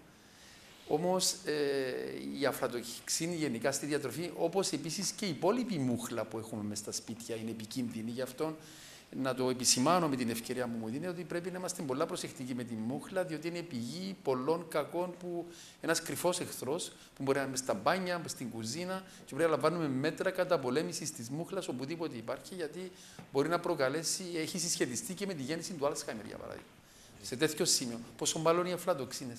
Τώρα για το συγκεκριμένο παράδειγμα που λέτε, το μόνο που μπορώ να συσχετίσω είναι αυτό που έχει αποδειχθεί πολλές φορές ότι η αυξημένη κατανάλωση ζωικής προέλευσης τροφών, κρέατα κτλ. Ε, έχει συσχετιστεί με σημαντικά αυξημένο κίνδυνο. Αλλά επιμέρους δεν μπορώ να απαντήσω. Αλλά ευχαριστώ που μου το είπετε, γιατί συνεργάζομαι πολύ στενά για τις μελέτες που κάνω και για τα σεμινάρια μας με το κρατικό χημείο. Και πολλά συχνά οτιδήποτε έχει σχέση, μιλώ μαζί τους, πάω, βλέπω τους, έχουν, εξέρ, έχουν, νομίζω έχουν ένα πολλά μεγάλο αριθμό εργαστηρίων για οτιδήποτε σκεφτείς. Και για τις αφρατοξίνε υπάρχει εργαστήριο. Αλλά να ρωτήσω περισσότερο ποια είναι η κατάσταση, να, να το ερευνήσουμε. Ευχαριστώ για την επισήμανση. Είναι πολλά καλή επισήμανση, γιατί Πολλά κάτι, κάτι κάτι με τις τροφέ μας. Η αφλατοξίνη είναι τεράστιο κεφάλαιο. Κάτι με τις τροφέ μας. Επειδή πολλοί καρκίνοι έχουν αυξηθεί, καπνίζουμε λιγότερο. Ε, Ε, ε, ξεκίνησε μια μάστιγα τώρα με το άτμισμα. Θέλει μεγάλη προσοχή. Νομίζω Ναι. πρέπει να το γράψετε στη Βουλή. Ήδη η Γαλλία, η Αγγλία, η Αυστραλία Η Γαλλία, απαγορεύσαν τα. Ε, Και άλλες στόχισαν. χώρες προγραμματίζουν. Γιατί πηγαίνετε σε έναν περίπτωση να δείτε τι γίνεται. Ε, ρώτησα περιπτεράδες, ε, χωρίς να ξέρουν ποιος είμαι και τα λοιπά. Και, λα- δηλαδή μου, αν και δεν απαγορεύεται που τον νόμο, να μην έρθουν ανήλικοι, πουλούμε τους, αλλά και να μην τους πουλήσουμε, στέλνουν τις μανάδες τους. Ε, ναι, one use. Έχουν τα USB. Και ότι μεταξύ αγοράζουν προϊόντα από το διαδίκτυο και επαναφορτίζουν τα. Και ο Θεός ξέρει τι βάλουμε εκεί μέσα. Και με μωρά του δημοτικού και βαστούν τα και πάνω όπως τα USB. Νομίζω ε, ε, εγκυμονείται για μένα ένα τεράστιο πρόβλημα. Και τούτο με, το, με, τα, με τα πράγματα που τρώμε βλέπεις το πάρα πολλά και στη γονιμότητα. Τεράστιο πρόβλημα στη γονιμότητα. Η γονιμότητα ίσως το θερίζει. Έχουμε τη χειρότερη γονιμότητα στον κόσμο. Μετά τη, ή μαζί με τη Ταϊουάν.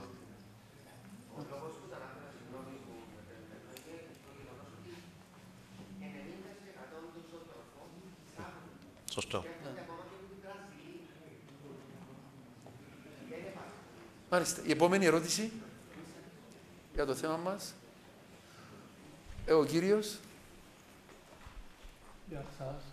Απλώς ο σύγχρονος είναι στον Καναδά και έχει υπερπλασία και ψηλό PSA. Και μου τηλεφώνησε ότι θα πάει να κάνει με λέιζερ, λέγει, για να το μειώσει. Ευσταθεί αυτό το πράγμα. Μπορεί. Ναι. Είναι ένας τρόπος. Το λέιζερ όπως το πάμε μαχαίρι. όλοι καλά. Όπως το μαχαίρι. εν και Το λέιζερ απλά κόβει με τις ακτίνες, με ενέργεια. Ε, αντί να κόψεις με το πλάσμα, κόφεις με το λέιζερ. Είναι... Ε, εν καλό του το δηλαδή να γίνει. Ε, το ίδιο πράγμα. Όσο είναι οι γιατροί του το εξηγούν. Το ίδιο πράγμα. Ο Καναδάς που αναφέρατε έχει τεράστιο πρόβλημα. Το, το, το σύστημα υγείας του Καναδά νομίζω νοσεί ε,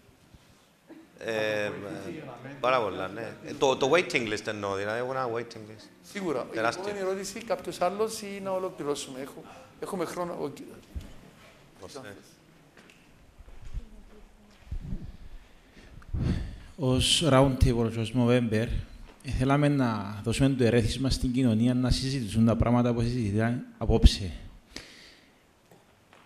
Θεωρώ ότι υπάρχει έτσι μεγάλο κενό στο, στην εκπαίδευση των ανθρώπων, αλλά και στο θέμα θεσμικά, πώς το κράτος εκπαιδεύει τους πολίτες του να μην φτάνουν στο- σε αυτά που ε, προαναφέρεται πριν, την παχυσαρκία, το στρες, τα πάντα. Διότι γνωρίζουμε ότι δεν πρέπει να τρώμε, αλλά τρώμε. Ε, Γνωρίζουμε ότι δεν πρέπει να καπνίζουμε, αλλά καπνίζουμε. Ε, Θεωρώ ότι χρειάζεται και θέλω να ακούσω από εσάς ποια ερεθίσματα ως Μοβέμπερ και ως κοινωνία γενικά πρέπει να δώσουμε για να ανοιχτούν κάποιες συζητήσεις ούτως ώστε το κράτος και η κοινωνία να προσανατολιστούν στο να προσφέρουν στον, εα- στον εαυτό μας ως κοινωνία αλλά και ο κράτος στους πολίτες του τις ευκαιρίες να αναπτύξουν υγιή σκέψη αλλά και υγιή συμπεριφορά. Ευχαριστώ πάρα πολύ για την ερώτηση. Ε, ακριβώς αυτό το σκεπτικό που έχεις περιγράψει το είχαμε συζητήσει στα πλαίσια του Παγκύπριου Ιατρικού Συλλόγου στην αρχή του 2022, βλέποντας το παράδειγμα του τι είχε συμβεί με το COVID, όπου ο κόσμος ανενημέρωτος, δεν εγνώριζα, και για τα εμβόλια που ήταν τεράστιο το πρόβλημα και για άλλα πράγματα και αντιληφθήκαμε ότι ως γιατροί υστερούσαμε ακριβώς σε αυτόν τον τομέα. Δηλαδή οι γιατροί δεν, έλα, δεν είχαν ένα θεσμοθε- θεσμοθετημένο όργανο για να διαπαιδαγωγούν τον κόσμο συστηματικά. Γι' αυτό έλαβαμε, τώρα μιλώ, ξεκινώ λέγοντας ένα παράδειγμα και να σας πω πώς το βλέπω ευρύτερα. Ξεκινήσαμε την ομάδα αυτή, την οποία ονομάσαμε Ε και Ε, που μου την αναθέσανε εμένα να τη διοργανώνω λόγω ακρόχρονης εμπειρίας στον τομέα σεμιναρίων και εκπαίδευσης κτλ. Ήταν ο Παγκύπριος Ιατρικός Σύλλογος, η Παιδιατρική Εταιρεία, η Ιατρική Σχολή του Πανεπιστημίου Λευκοσίας και η ΑΧΕΠΑ, οι οποίοι, ε, το American Hellenic Educational Progressive Association, που το education είναι βασικός παράγοντας. Και ξεκινήσαμε αυτή την προσπάθεια και αρκετοί από εσάς ξέρετε ότι σχεδόν κάθε τρεις μήνες κάτι κάνουμε και εκτός από τα θεσμοθετημένα σεμινάρια, δηλαδή έχουμε κάνει τουλάχιστον 8-9 σεμινάρια, 10 τουλάχιστον σεμινάρια από τότε, συν πολλές διαλέξεις επιμέρους. Είναι μια προσπάθεια έτσι ώστε οι γιατροί να ενημερώνουν ήδη και να μην αφήνουμε την ενημέρωση από οποιοδήποτε άλλο, γιατί έχουμε ακούσει τρελά πράγματα. Ιδιαίτερα στην εποχή των εμβολίων του COVID, τις ανοησίες που ακούαμε, απίστευτο. Άρα, γιατί, ε, διότι ο κόσμος δεν ήταν ενημερωμένος. Φυσικά, από μόνοι μας δεν μπορούμε. Και εδώ έρχεται αυτό που λέτε εσείς. Πρέπει να βοηθήσουν όλοι. Γι' αυτό εμείς θα θέλαμε πολλοί άλλοι να κάνουν ανάλογα πράγματα. Να δουν πώς λειτουργούμε εμείς, να τους βοηθήσουμε και να προσπαθήσουμε να δημιουργήσουμε πυρήνες ενεργοποίησης παντού σε αυτά τα θέματα, γιατί πολύ σωστά το είπες. Η πρόληψη σε θέματα διατροφής μπορεί να αποτρέπει 40% των θανάτων λόγω καρκίνου ετησίως. Αυτό είναι αποτελέσματα ε, δημοσιευμένα, ε, οδηγίες, ε, εγώ που τα λέω, χρόνια που τα λέμε αυτά τα πράγματα. Ο καρκίνος του παχαίου εντέρου σε νέους ανθρώπους, που όλο και περισσότερο έχουμε σε νέους, έχει αποδειχθεί με ωραιότατες μελέτες, 70% μπορούν να αποτραπούν χάρη στο σωστό τρόπο ζωής, περιλαμβανομένης της άθλησης και της διατροφής. Δεν υπάρχουν φάρμακα, γιατροί, μέθοδοι, νοσοκομεία που μπορούν, που, Παιδεία, που μπορούν να πετύχουν τέτοια ποσοστά. Άρα είναι στο χέρι μας, στον καθένα από εμά. Άρα, πολύ σωστά το είπες. Η εισήγησή μας εμάς είναι όπως έκαναμε εμείς να βρεθούν τζάλι, να τους βοηθήσουμε. Τα λέμε στο Υπουργείο. Ακόμα και στο Υπουργείο Παιδείας τον Ιούνιο, να σας πω κάτι έτσι ανεκδοτικά, να γελάσετε και λίγο. Ε, όταν έκαναμε το σεμινάριο, αρκετοί από εσάς πιθανόν να ήταν παρόντες, ε, εισηγήθηκαμε στο Υπουργείο Παιδείας και στην Υπουργό ότι, ξέρετε, μειώστε τα μαθήματα, τα μαθηματικά, τα θρησκευτικά, τη φυσική, τη λογοτεχνία, μειώστε τα Βάρτε μια ώρα κάθε πρωί για όλες τις τάξεις από τους πιο μικρούς μέχρι τους πιο μεγάλους. Μία ώρα γυμναστική, αλλά, αλλά από προπονητές ειδικούς, όχι να πιάνει οποιοδήποτε δάσκαλο να το βάλεις εκεί. Δηλαδή, σας λέω ότι οι πυρήνες ενεργοποίησης μπορεί να έχουν αποτέλεσμα. Εντάξει, μπορεί να μην δούλεψει την πρώτη φορά, αλλά ξανά και ξανά και ξανά. Να μην έχουμε την ψευδέστηση ότι επειδή να πούμε κάτι να γίνει. Όχι. Ε, ξανά και ξανά και ξανά και περισσότεροι περισσότεροι. Αλλά αυτό που λες πολλά σωστό. Εμείς κάνουμε. Συγγνώμη μου, δεν είναι μόνο η, η πολιτεία, δεν πρέπει να καρτέρουμε όλα. Ακριβώς. Είναι και οι γονείς. Ακριβώς. Όλοι μας. Πρέπει να διδάξουν τα ώρα, βγαίνετε έξω, ε, κατεβάστε τους, κάτε στο PlayStation, πετάστε. Δηλαδή, ε, γίνεται, ε, γίνεται, αν κάθονται για είναι. Και το άλλο, η πληροφόρηση που παίρνει ο κόσμος, πώς δεν την παίρνει. Βλέπουν τζίνα ούλα βά στα YouTube, βά στα TikTok, ξέρω εγώ, οποιοδήποτε ευκαιρνεί και κάνει γύριγμα. Ε. Ε, πρέπει να προσέχεις πάρα πολλά. Πάρα, πάρα, πάρα πολλά. Γιατί ε, πολλοί, πολλοί αρρώστοι πάθαν μεγάλες ζημιές που δεν Γι' αυτό και εμείς θέλουμε να προωθηθούν θεσμοί σαν αυτό. Γιατί μπορεί οποιοδήποτε, τουλάχιστον εμείς κάθε τρεις μήνες κάνουμε ένα, αλλά έχουμε και διάμεσα. Όπως το σημερινό, είναι κάτι το οποίο ήρθε εκτός προγράμματος. Ε, ή πριν ε, ένα μήνα πριν το σεμινάριο που κάναμε για το Alzheimer, καλέσαμε στην Ορμίδια. Έκαναμε, είχε 100 άτομα που ήρθαν, ε, μιλήσαμε για ανάλογα θέματα. Είμαστε πρόθυμοι να βοηθούμε, αλλά πρέπει και ο καθένας από μόνος του να κάνει τη δουλειά ε, στο σπίτι, ενεργοποιώντας ε, αυτά τα πράγματα. Έχουμε χρόνο για δύο ερωτήσεις μόνο. Άντε, τρεις και τελειώνουμε, γιατί είπαμε 8.30 τελειώνουμε. Ε, Εμείς σεβόμαστε πάντοτε τον χρόνο σας, ξεκινούμε στην ώρα μας, τελειώνουμε ακριβώς στην ώρα μας και μετά έχουμε τη δεξίωση. Ό,τι θέλετε μπορούμε να μιλήσουμε. Ο κύριος. Ναι, μια από ήταν ο λόγος, όταν την ρώτησα με ποιον τρόπο προ, προ, μπορείς να προστατεύσεις από το προστάτη, μου είπε ότι όταν τρώεις από τον κολοκυθόσπορο ένα φεντζάνι του καφέ, ε, προφυλάσσεσαι. Ε, θέλω να το συζητήσουμε, διότι είναι μεγάλο θέμα ε, η διατροφολόγος και η... Εντάξει, Εσείς απορρίπτετε το, νομίζω, αλλά... Ως θέμα, να σας πω κάτι, ως θέμα βασικό, και αυτό ισχύει για τη διατροφή, συνήθως είναι η ποικιλία θρεπτικών ουσιών οι οποίες συμβάλλουν για το καλό. Οπότε, τούτου του είδους το πράγμα δεν απαντιέται αυτή η ερώτηση. Δεν ξέρω που το ανακάλυψε αυτό το πράγμα. Εγώ δεν θα το υιοθετούσα, θα το βλέπα με πολύ σκεπτικισμό και θα ακολουθούσα αυτό το οποίο λέει ο Παγκόσμιος Οργανισμός Υγείας, ο ΕΜΕΑ, ο FDA και ο ΝΑΙΣ. Ποικιλία διατροφής, περισσότερο φυτικά παρά ζωικά, κλασικό παράδειγμα μεσογειακή διατροφή, είναι ό,τι καλύτερο. Αυτά τα επιμέρους ε, είναι και λίγο επικίνδυνα, διότι το κλασικό παράδειγμα ήταν με τα supplements, πώς τα λέμε, τα... Supplements κάνουν σου ζημιά. Πώς τα λέμε, στα... μου τώρα. Τα συμπληρώματα, ακριβώς. Συμπληρώματα, ναι. Ε, Συγκεκριμένα, που σας ανάφερα πριν, όταν άκουγα το podcast όταν έτρεχα, ο, αυτός ο περιβόητος καθηγητής από το Πανεπιστήμιο της Καλιφόρνιας που είχε τεράστια εμπειρία στον τομέα και μάθαινε να πουλώ, το άκουγα τον να μάθω για να μπορώ και εγώ να μεταφέρω τα μηνύματα, έλεγε ότι υπήρξε μια εποχή που υπήρχε μανία με supplements, γιατί αυτό που μου αναφέρεται τώρα, τρώει κολογηθόσπορο για να προστατεύσει το, τον προστάτη σου, θυμίζει... Πρόληψη, πρόληψη. Εντάξει, οτιδήποτε. Θυμίζει μου την κουβέντα ε, των εμπόρων, θεμητά βέβαια, οι οποίοι πουλούσαν βιταμίνη ε, ε, ΑΒΓ supplements και στο τέλος αυξάνονταν τα περιστατικά καρκίνου. Άρα προσ... Τώρα γίνει ένα έλεγχο. Έχει τρόπο να ελεγχθεί το πράγμα. Για αν πράγματι προσφέρει ή δεν προσφέρει, ή κάνει κακό. Δεν μπορούν να γίνονται έρευνες για οτιδήποτε σκεφτεί κάποιος. Είναι αδύνατο. Υιοθετούμε αυτά τα οποία ε, έχουν αποδειχθεί διαμέσου δεκαετίων ερευνών και είναι αυτά που σας παρουσίασα. Δηλαδή είναι στοιχεία τα οποία είναι αποδεκτά από όλους τους παγκόσμιους οργανισμούς. Οι οποίοι ναι. έχουν στρατιές επιστημόνων που ειδικά έχουν εκπαιδευτεί να τα μελετούν. Άρα, άμα να ακούτε τέτοια πράγματα, ξέρω, πάω στο φαρμακοποιό μου, όραστον το πράγμα γιατρέ και ο προστάτης σου είναι να γιάνει, πιάστο. Είναι αλλά να μου το πουλήσει και να πάω να το ξαναγοράσω. Ε, σωστό. Καλύτερα να ακολουθούμε τις οδηγίες. Για πολλά πράγματα δημιουργάς μάρκετ. Ναι. Η επόμενη ερώτηση, έχει κάποιον κύριο, ή δύο ερωτήσεις και τελειώνουμε. Να πάει το μικρόφωνο, παράδειγμα, χάρη χολυστερόλη. Είναι μάρκετ το οποίο δημιουργήθηκε. Η επόμενη ερώτηση. Είχε ακόμα μια, νομίζω ότι τελειώνουμε. Και είμαστε στην ώρα μας ακριβώς. Ο κύριος; Ήθελα να ρωτήσω κατά πόσο η μικρολιθίαση μπορεί να επηρεάσει τον προστάτη του αρχή. Όχι, δεν έχει καμία, καμία σχέση με τον καρκίνο του προστάτη.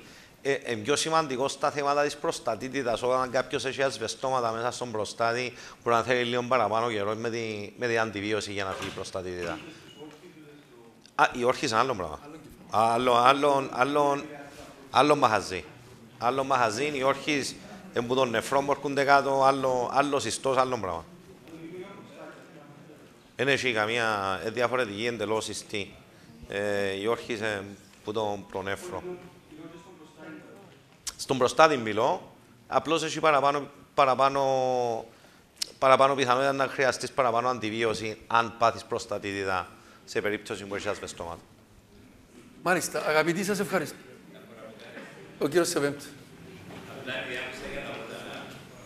Θέλω απλά να έχετε υπόψη σας ότι η Ευρωπαϊκή Οδηγία απαγορεύει να κάνεις claim ότι το τάδε βότανο βοηθεί ή οτιδήποτε άλλο, αν δεν υπάρχει πίσω ιατρική μελέτη. Μπράβο. Απαγορεύεται ε, και για τούτο λόγο είναι να δείτε και στα δικά μας τα βότανα που πουλούν, διούσου το βότανο και γράφει πάνω μόνο το όνομα και διούνται σε ξεχωριστό χαρτί για να μην τους πιάνει ο νόμος, νομίζουν ότι ξε, ξεγελούν τον νόμο. Αλλά απαγορεύεται να κάνεις health claims χωρίς να έχεις ε, ιατρική μελέτη. Είναι μια πολύ καλή απάντηση στην ερώτηση που ε, Ευχαριστούμε πολλά για τη διοργάνωση. Ευχαριστούμε. Είστε καλά, εμείς ευχαριστούμε. ε, υπάρχει δεξίωση έξω, μπορούμε να συνεχίσουμε τη συζήτηση μας.